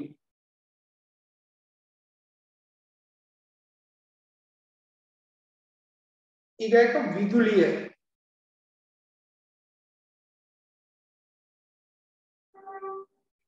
අපි කියන්නේ මනු කියවීම පත්‍රය. මනු කියවීම පත්‍රය. තමා විදුලි බිල් පත්‍රය. මනු කියවීම පත්‍රය තමා විදුලි බිල් පත්‍රය.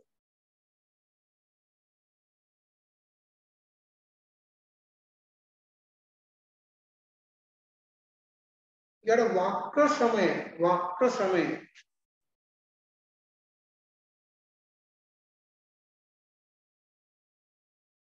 වක්‍ර ශ්‍රමය එකක් තමයි වේතන විශ්ලේෂණය. වේතන විශ්ලේෂණය හොයා ගන්න පුළුවන්. වක්‍ර ශ්‍රමය වේතන විශ්ලේෂණය. එහෙම නැත්නම් වේලා සටහන් පත්. අපි කලින් කතා කරලා තියෙන වේලා සටහන් පත්. කතා කරන්නේ ශ්‍රමය යනත් කතා කරමු වේලා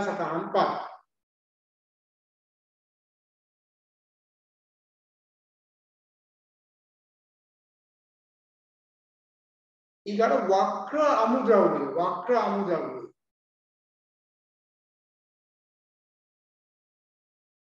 වක්‍ර අමුද්‍රව්‍ය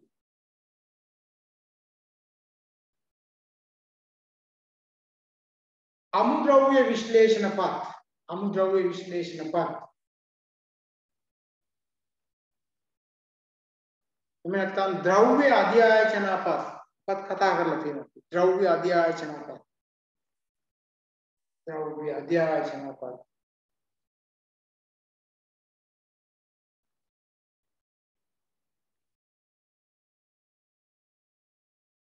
ඊගොඩ කම්හල් ලිපිකරු වැටු කම්හල් ලිපිකරු වැටු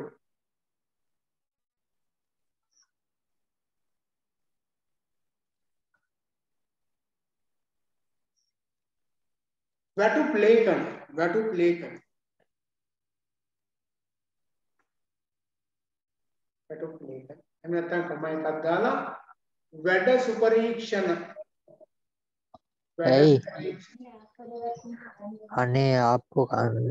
යූ පරීක්ෂණ එහෙම නැත්නම් අපි කියනවා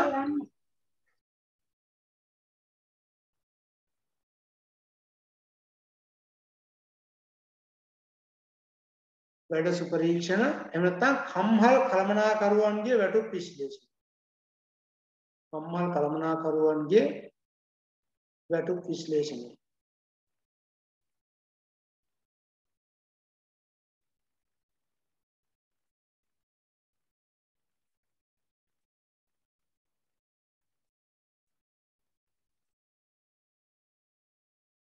ඊගාට තැපැල් ගාස්තු. තැපැල් ගාස්තු.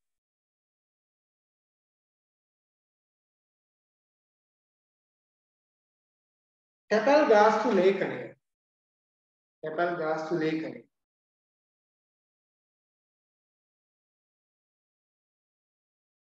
එහෙම නැත්නම් සුළු මුදල් පොතේ විශ්ලේෂණ තීරු සුළු මුදල් පොතේ විශ්ලේෂණ තීරු ඔය සුළු මුදල් පොතේම පිටි කෑෂ් එකේම හැදුවා නේද?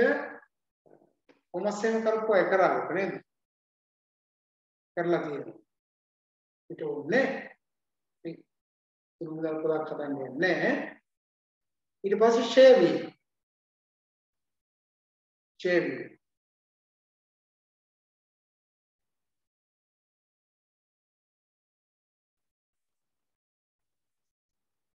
ස්ථාවරවත්කම් ලේඛන. ස්ථාවරවත්කම් ලේඛන.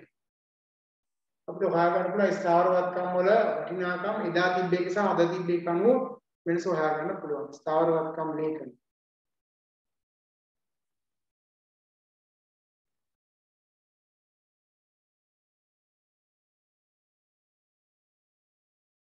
වෙනස හොයාගන්න පුළුවන් ස්ථාවරවත්කම් ලේඛන ඊගාට ජල විදුලිය සෝරි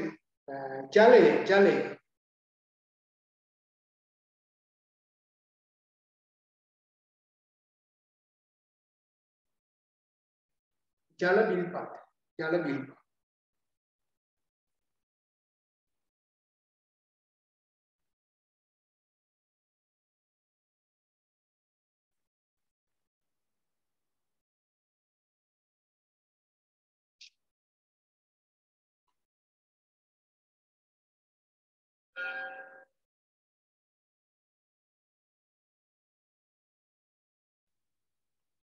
හරි මම මේ මූලික කරුණු කාරණා ටික දීලා ඉවර කරන්න ඊට පස්සේ ගණන් වලට යද්දී අපිට පොදුවේ කතා කරන්න පුළුවන්.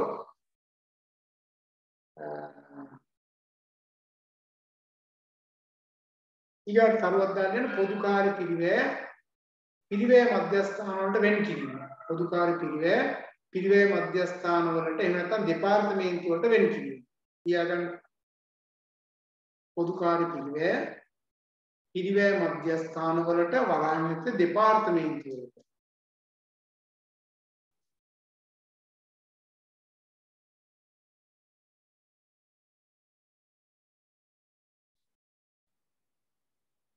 දෙපාර්තමේන්තු වලට වෙන් කිරීම.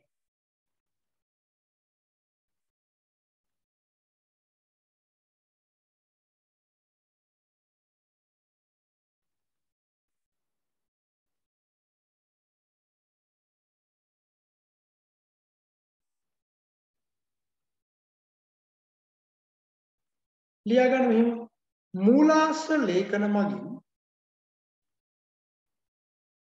මූලාශ්‍ර ලේඛන මගින් හඳුනා ගන්නා ලද හඳුනා ගන්නා ලද පොදු කාර්ය පිළිවෙල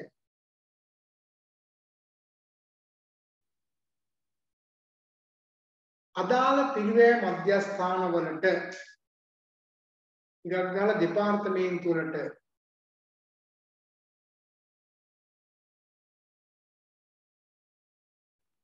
වෙන් කිරීම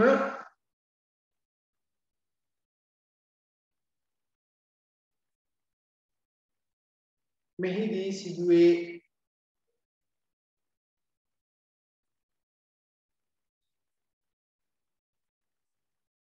මෙහිදී ඇතැම් වියදම් මෙහිදී ඇතැම් වියදම් ඍජුවම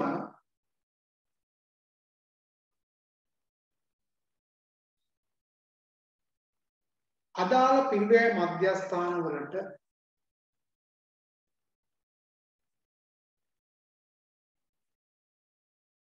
වෙන් කළ හැකි වුවත්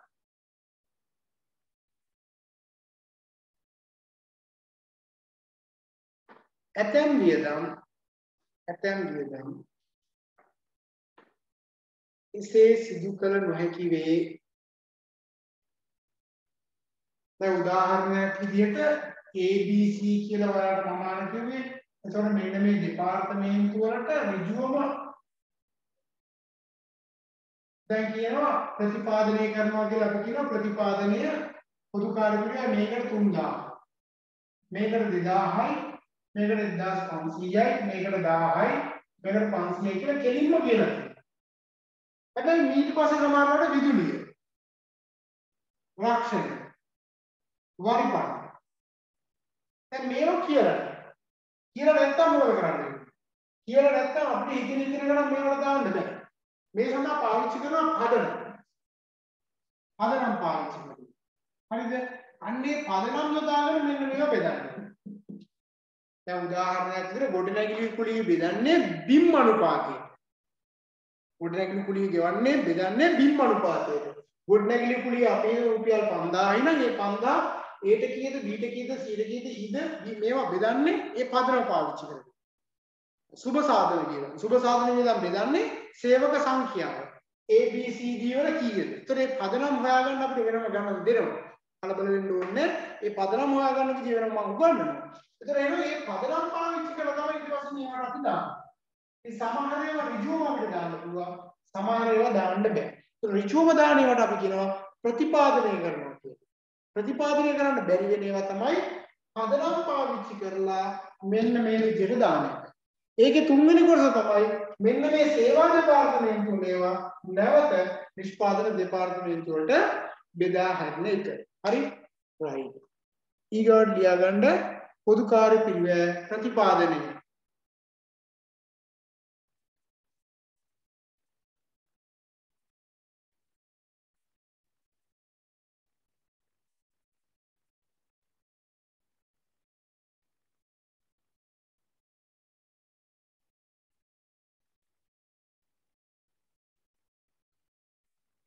කිසියම් වියදමක් කිසියම් වියදමක් ඍජුවම ඍජුවම කිසියම් වියදමක් ඍජුවම අදාළ මධ්‍යස්ථානය වෙනුවෙන් දරා ඇතනම්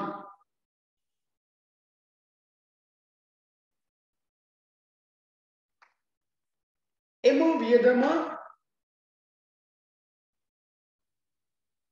එම වියදම අදාළ මධ්‍යස්ථානයට වෙන් කිරීම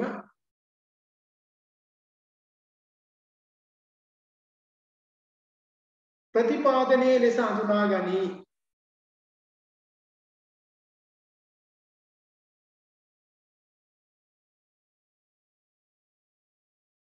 යම් වියදමක්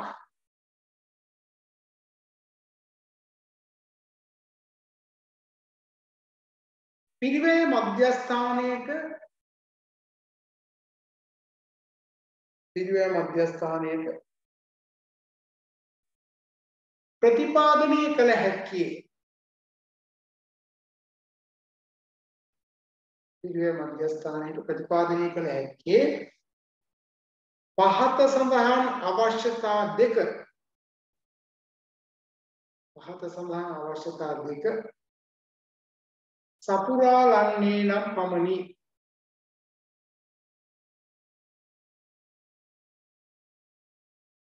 එක. අදාළ මධ්‍යස්ථානයේ වෙනුවෙන් අදාළ මධ්‍යස්ථානයේ වෙනුවෙන්ම පිරිවැය දරා තිබීම පිරිවැය දරා තිබීම.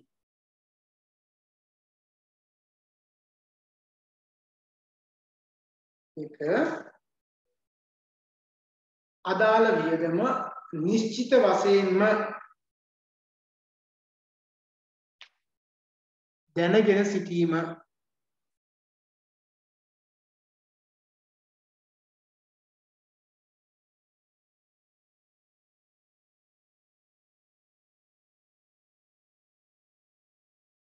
උදාහරණයක් ලියාගන්න ඇසුරුම් අංශයේ ඇසුරුම් අංශයේ වක්‍ර වැටු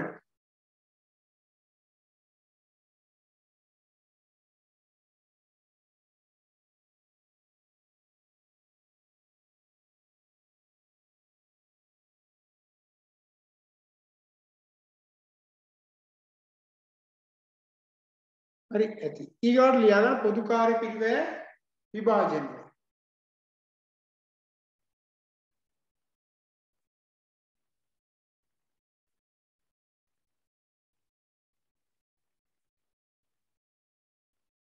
දැන් ඔය පොදු කාර්ය පිළිවෙල විභාජනය කියලා කියන්නේ ප්‍රතිපාදනය කරන්න බැරි යමක් තියෙනවා. නිශ්චිතව හඳුනා ගන්න බැයි නම් ඒවා අපි කරන්නේ මොකද්ද? ඒ සඳහා නිශ්චිත පදනම් යොදාගෙන ඒ ඒ මධ්‍යස්ථාන වලට වෙන් කිරීම අපි සිද්ධ කරනවා. ලියා ගන්න මෙහෙම. ප්‍රතිපාදනය කළ නොහැකි පිරිවැය ප්‍රතිපාදනය කළ නොහැකි පිරිවැය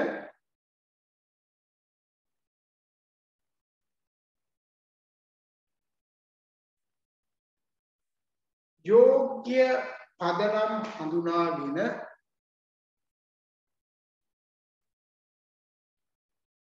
යෝග්‍ය පදනම් හඳුනාගෙන එම පදනම් වලට අනුව එම පදනම් වලට අනුව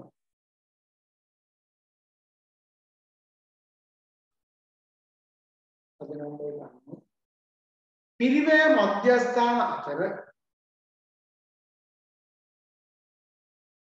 පිරිවැය මධ්‍යස්ථාන අතර පොදුකාරී පිරිවැය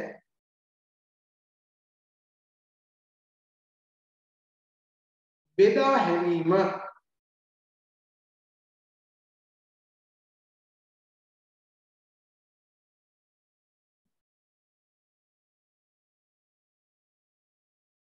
පොදුකාරී පිරිවැය විභාජනය කිරීමයි.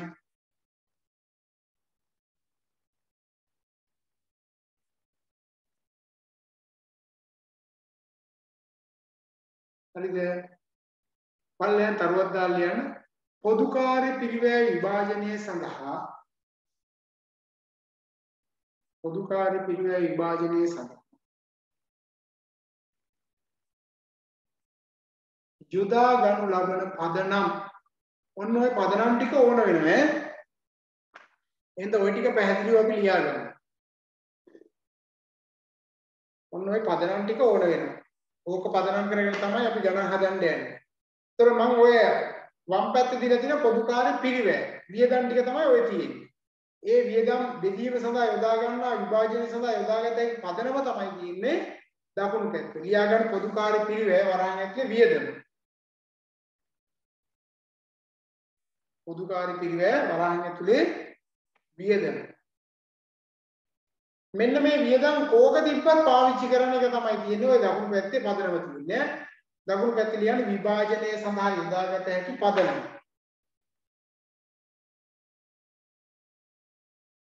විභාජනය සඳහා යොදාගත හැකි පදනම.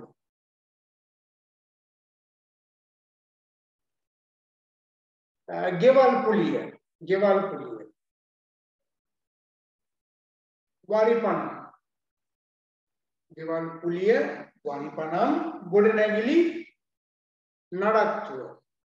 ගොඩනැගිලි පුලිය කියලා තිබ්බත් ප්‍රශ්නයක් නෑ. ගොඩනැගිලි නඩත්තුව.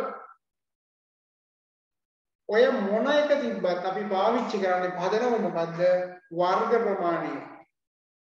වර්ග ප්‍රමාණය.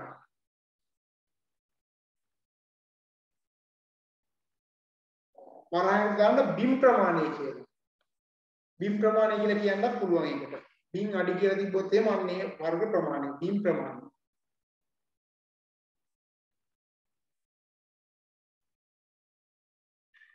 හරි ඊගාට මෙන්න මේ කියන වියදම්. කාර්ය මණ්ඩල දෙපාර්තමේන්තු වියදම්.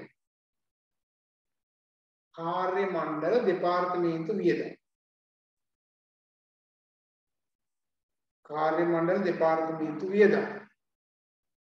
සේවක සුබ සාධන වියදම් සේවක සුබ සාධනක වියදම්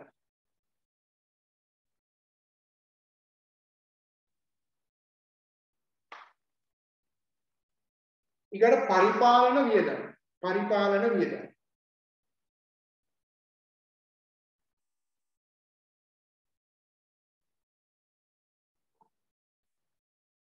ආපන ශාලා වියදම් ආපන ශාලා වියදම් සේවක අධීක්ෂණ වියදම්. සේවක අධීක්ෂක වියදම්. සුපරීක්ෂණ කියලා තිබ්බත් ඒත් එකයි ඈ. සේවක අධීක්ෂණ වියදම්.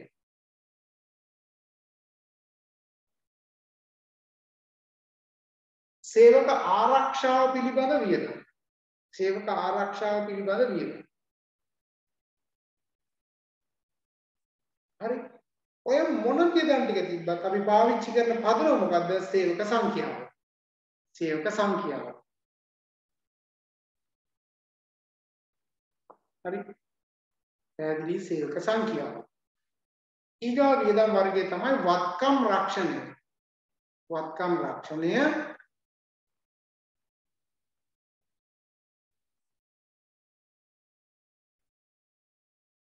වත්කම් අලුත් වැඩියා. ඒතර වත්කම් රක්ෂණ වියදම් කියලා තිබ්බත් වත්කම් අලුත් වැඩියා වියදම් කියලා තිබ්බත් එකයි. ඒ සඳහා පාවිච්චි කරන්නේ ස්ථාවර වත්කම් වල පොත් අගය ඕවා මොනවද කියලා ඉස්සරහට දෙනවා ඈ බය වෙන්න එපා. දැන් සේවක සංඛ්‍යාව නම් සේවක සංඛ්‍යාව දෙනවා. ස්ථාවර වත්කම් වල පොත් අගය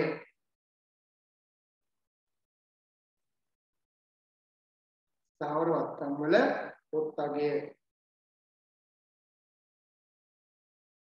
ඊගා වියදම් වර්ගය තමයි ගබඩා වියදම්. ගබඩා වියදම්. ගබඩා වියදම් තමා අමුද්‍රව්‍ය නඩත්තු වියදම්. අමුද්‍රව්‍ය නඩත්තු වියදම්. අමුද්‍රව්‍ය නඩත්තු වියදම්. එතකොට ඒ සඳහා පාවිච්චි කරන පදනම තමයි පාවිච්චි කළ අමුද්‍රව්‍ය ප්‍රමාණය. පාවිච්චි කළ අමුද්‍රව්‍ය ප්‍රමාණය. පාවිච්චි කළ අමුද්‍රව්‍ය ප්‍රමාණය.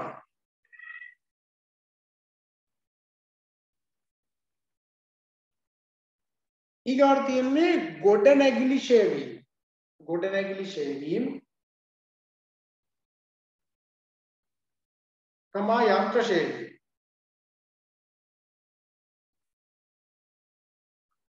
ගොඩ නැගිලි ෂේවීම් කමා යන්ත්‍ර ෂේවීම්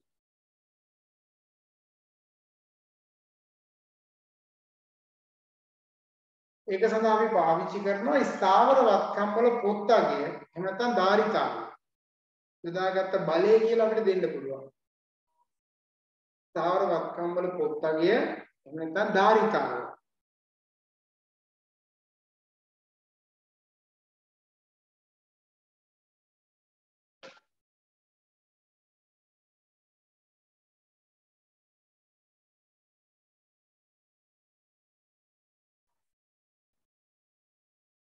ඊගාට විදුලිය විදුලිය උෂ්ණත්වය වායු සමනය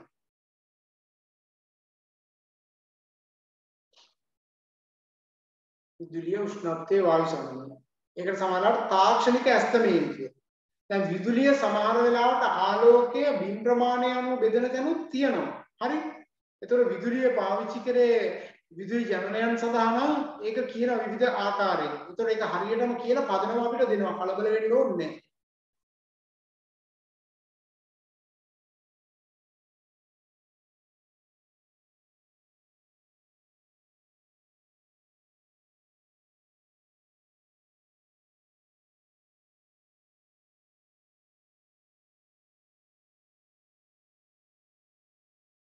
යටින් ලියාගන්න මෙහෙම විභාජනය කිරීමේදී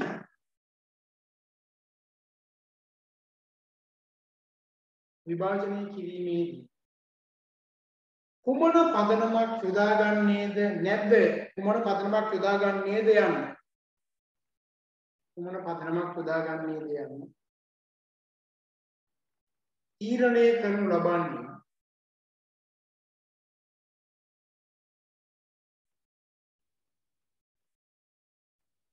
ඒ ඒ අවස්ථාවට අදාළ ඒ ඒ අවස්ථාවට අදාළ කරුණු සැලකිල්ලට ගැනීමෙනි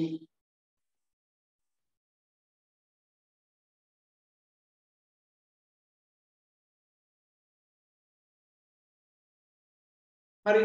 එතකොට විභාජන පදනම් සහ විභාජනය ගැන මම ගණන් ටික ලබන සතිය කතා කරන්න පටන් ගන්නම්. දැන් මේ මේ දාලා තියෙන මේ කරුණු කාරණා ටික මේ හරහා ඒක කොහොමද හදන්නේ කියන එක මම ලබන සතිය කතා කරන්නම්. එතකොට මට ඔයාලත් එක්ක කතා කරන්න තව කාරණා කීපයක් තියෙනවා. එකක් තමයි අපේ පන්තිය දැන් අපි පවත්වාගෙන යන්නේ බදාදා දවසේ තියෙන්නේ. සති කීපයක් ඇතුළත මම උත්සාහ කරනවා ඒක නිශ්චිත ඩේට් එකක් විදියට සෙන්සුරාදා දවසේ බොහෝ අය ඉඳලා තිබ්බා සෙන්සුරාදා දවසේ දාගන්න පුළුවන් නම් හොඳයි කියලා. මම සෙන්සුරාදා ඒක දාන්න උත්සාහ කරනවා ඉදිරියේදී මගේ කාලය හදාගෙන මම ඉන්නවා සෙන්සුරාදා 12 1 2 අතර ඔය කියන කාලයන් අරගෙන ඔය කාලය තුලත මම වෙලාව සකස් කරලා දෙන්නම් ඔයාලට. ඊගවට දැන් ඊගා කාරණාව තමයි ඔයාලා දන්නවා ඔයාලගේ මේ ඩිප්ලෝමා එක ක්‍රියාත්මක වෙන්නේ ප්‍රතිකා වෘත්ති අධ්‍යාපන කොමිසම් සභාවේ අනුමැතිය යටතේ. ඒ නිසා මේකට ගොඩාක් ප්‍රමාණයක් බඳව ගන්න බෑ. අනිවාර්යයෙන්ම අපි 60ක ප්‍රමාණයක් තමයි බඳව ගන්න නිශ්චිත ප්‍රමාණයක්. ඒ නිසා මේක අස්සට ආපු අය නිරන්තරයෙන් රෙදිලා ඉන්න උත්සාහ කරන්න. මොකද මේක ගැරිවිලා ගියොත් එහෙම ආපහු ඔයාලට මේ ඩිප්ලෝමා එකක් ෆ්‍රීස් එකට කරගන්න බෑ. මොකද අවුරුදු දෙකක් වගේ කට්ට කාලා හිතා ගන්න බැරි ගොඩාක් දේවල් කරන්න වෙනවා මේ ඩිප්ලෝමා එක ඔයාලට ගන්න ගියොත් එහෙම. ඒතර කලින් ගත්ත බැච් එකේ අයටත් මේ වෙනකොට උසස් වීම වලට මේක උපකාරී වෙච්ච අවස්ථා ඕන තරම් තියෙනවා. රැකියාව හම්බ වෙච්ච ඒවා ඕන තරම් තියෙනවා. ඒ කියන්නේ මම කියන්නේ බැංකු ශාස්ත්‍රයේ පවා HR මයි ඩිප්ලෝමා එකට රස්සා දෙනවා. රස්සා තියෙනවා. ඒ නිසා එතනින් එහාට ඕන තරම් රස්සා තියෙනවා. ඒ නිසා උනන්දුවෙන් උත්සාහයෙන් මේක කරගන්න මම ඔයාලට අවශ්‍ය කරන දේවල් ටික උඩින් මම ලෑස්ති කරලා දෙන්න. එහෙනම් අද දවසේ නෝට් එක 208 ඔයා පන්ති ඉවර වෙනකන් හිටියා. 208 ඔයා නෝට් එක දාන්න මම ගෲප් එකට දාන්නම්. ඒ වගේම ඔයාලා සියලු දෙනාගේම තොරතුරු ටික ආපහු යාවත් කාලීන කිරීම සඳහා අපිට පෙන් එහෙම ඉඳලා තියෙනවා.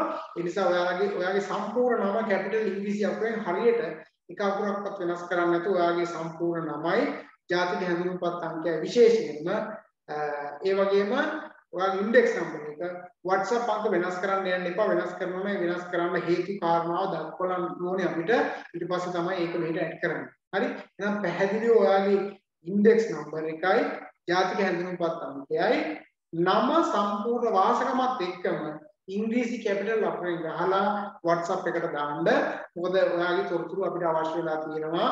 ඒට යැවීම සඳහා මොකද ඇප්ලිකේෂන් එකේ තියෙන සමහර කාරණා සමහර අකුරු ලියද්දි හදිසියෙ ලියුවා කියලා අපිට පේනවා ඒ නිසා හරියටම ඔයා ඉස්සරහට පාවිච්චි කරන නම සහතිකයට යන්න ඕන විදිය ඒ විදියට ඇඩ්මිෂන් එකට යන්න ඕන විදිය ඒ විදියටම ලියලා එවන්න. හරි. තව මොනවාරි ඔයාලට දැනගන්න තියෙනවද? තව කාරණාවක් තියෙන විශේෂ කාරණාවක් ඔයාලගේ පේමන්ට්ස් දැන් කරන්න කාලේ හරි පේමන්ට්ස් කරන්න පටන් ගන්න පේමන්ට්ස් වලට අදාළව අපේ කැම්පස් එකේ ඩීටේල්ස් එක account details එක මම ඔයාලට WhatsApp message එකකින් දෙන්නම්. අන්තර්ජාතික ව්‍යාපාර උපාධිමාර්ග විශ්වවිද්‍යාලයට තමයි ඔයාලට ගෙවන්න තියෙන්නේ. ඒතකොට ඒකේ accounts details ටික මම ඔයාලට හෙට වෙද්දී group එකට දාන්නම්. හරි. තව මොනවාරි ඔයාලට දැනගන්න තියෙනවද? ගිය සතියේ අපිට ලෙක්චර් කරන්න බැහැ. ඊට ඉස්සෙල්ලා සතියේ ලෙක්චර් එකේ රෙකෝඩින් එකේ ප්‍රශ්නයක් කළා. ඒක රෙකෝඩින් එක මට YouTube එකට දාගැනීමේ හැකියාවක් නැති වෙලා තියෙනවා. ඈ ඒකේ නෝට් එක අපි දාලානේ තියෙන්නේ. ඒතර මෙතන ඉඳන් අපි ගෲප් එකට ලෙක්චර් එකේ වීඩියෝ එක දාලා යන්න. අරගෙන යන්න. හරි. තා මොනවාරි ඔයාලට දැනගන්න තියෙනවා. නෑ. හරි. හරි. එහෙනම් අපි අදට මේ කාරණාව අවසන් කරමු. ලබන සතියේත් අපි හම්බ වෙන්නේ බදාදා හවස 5යි 30ට එතෙක් සියලු දෙනාටම සුබ සතියක් පරිස්සමින් ඉන්න.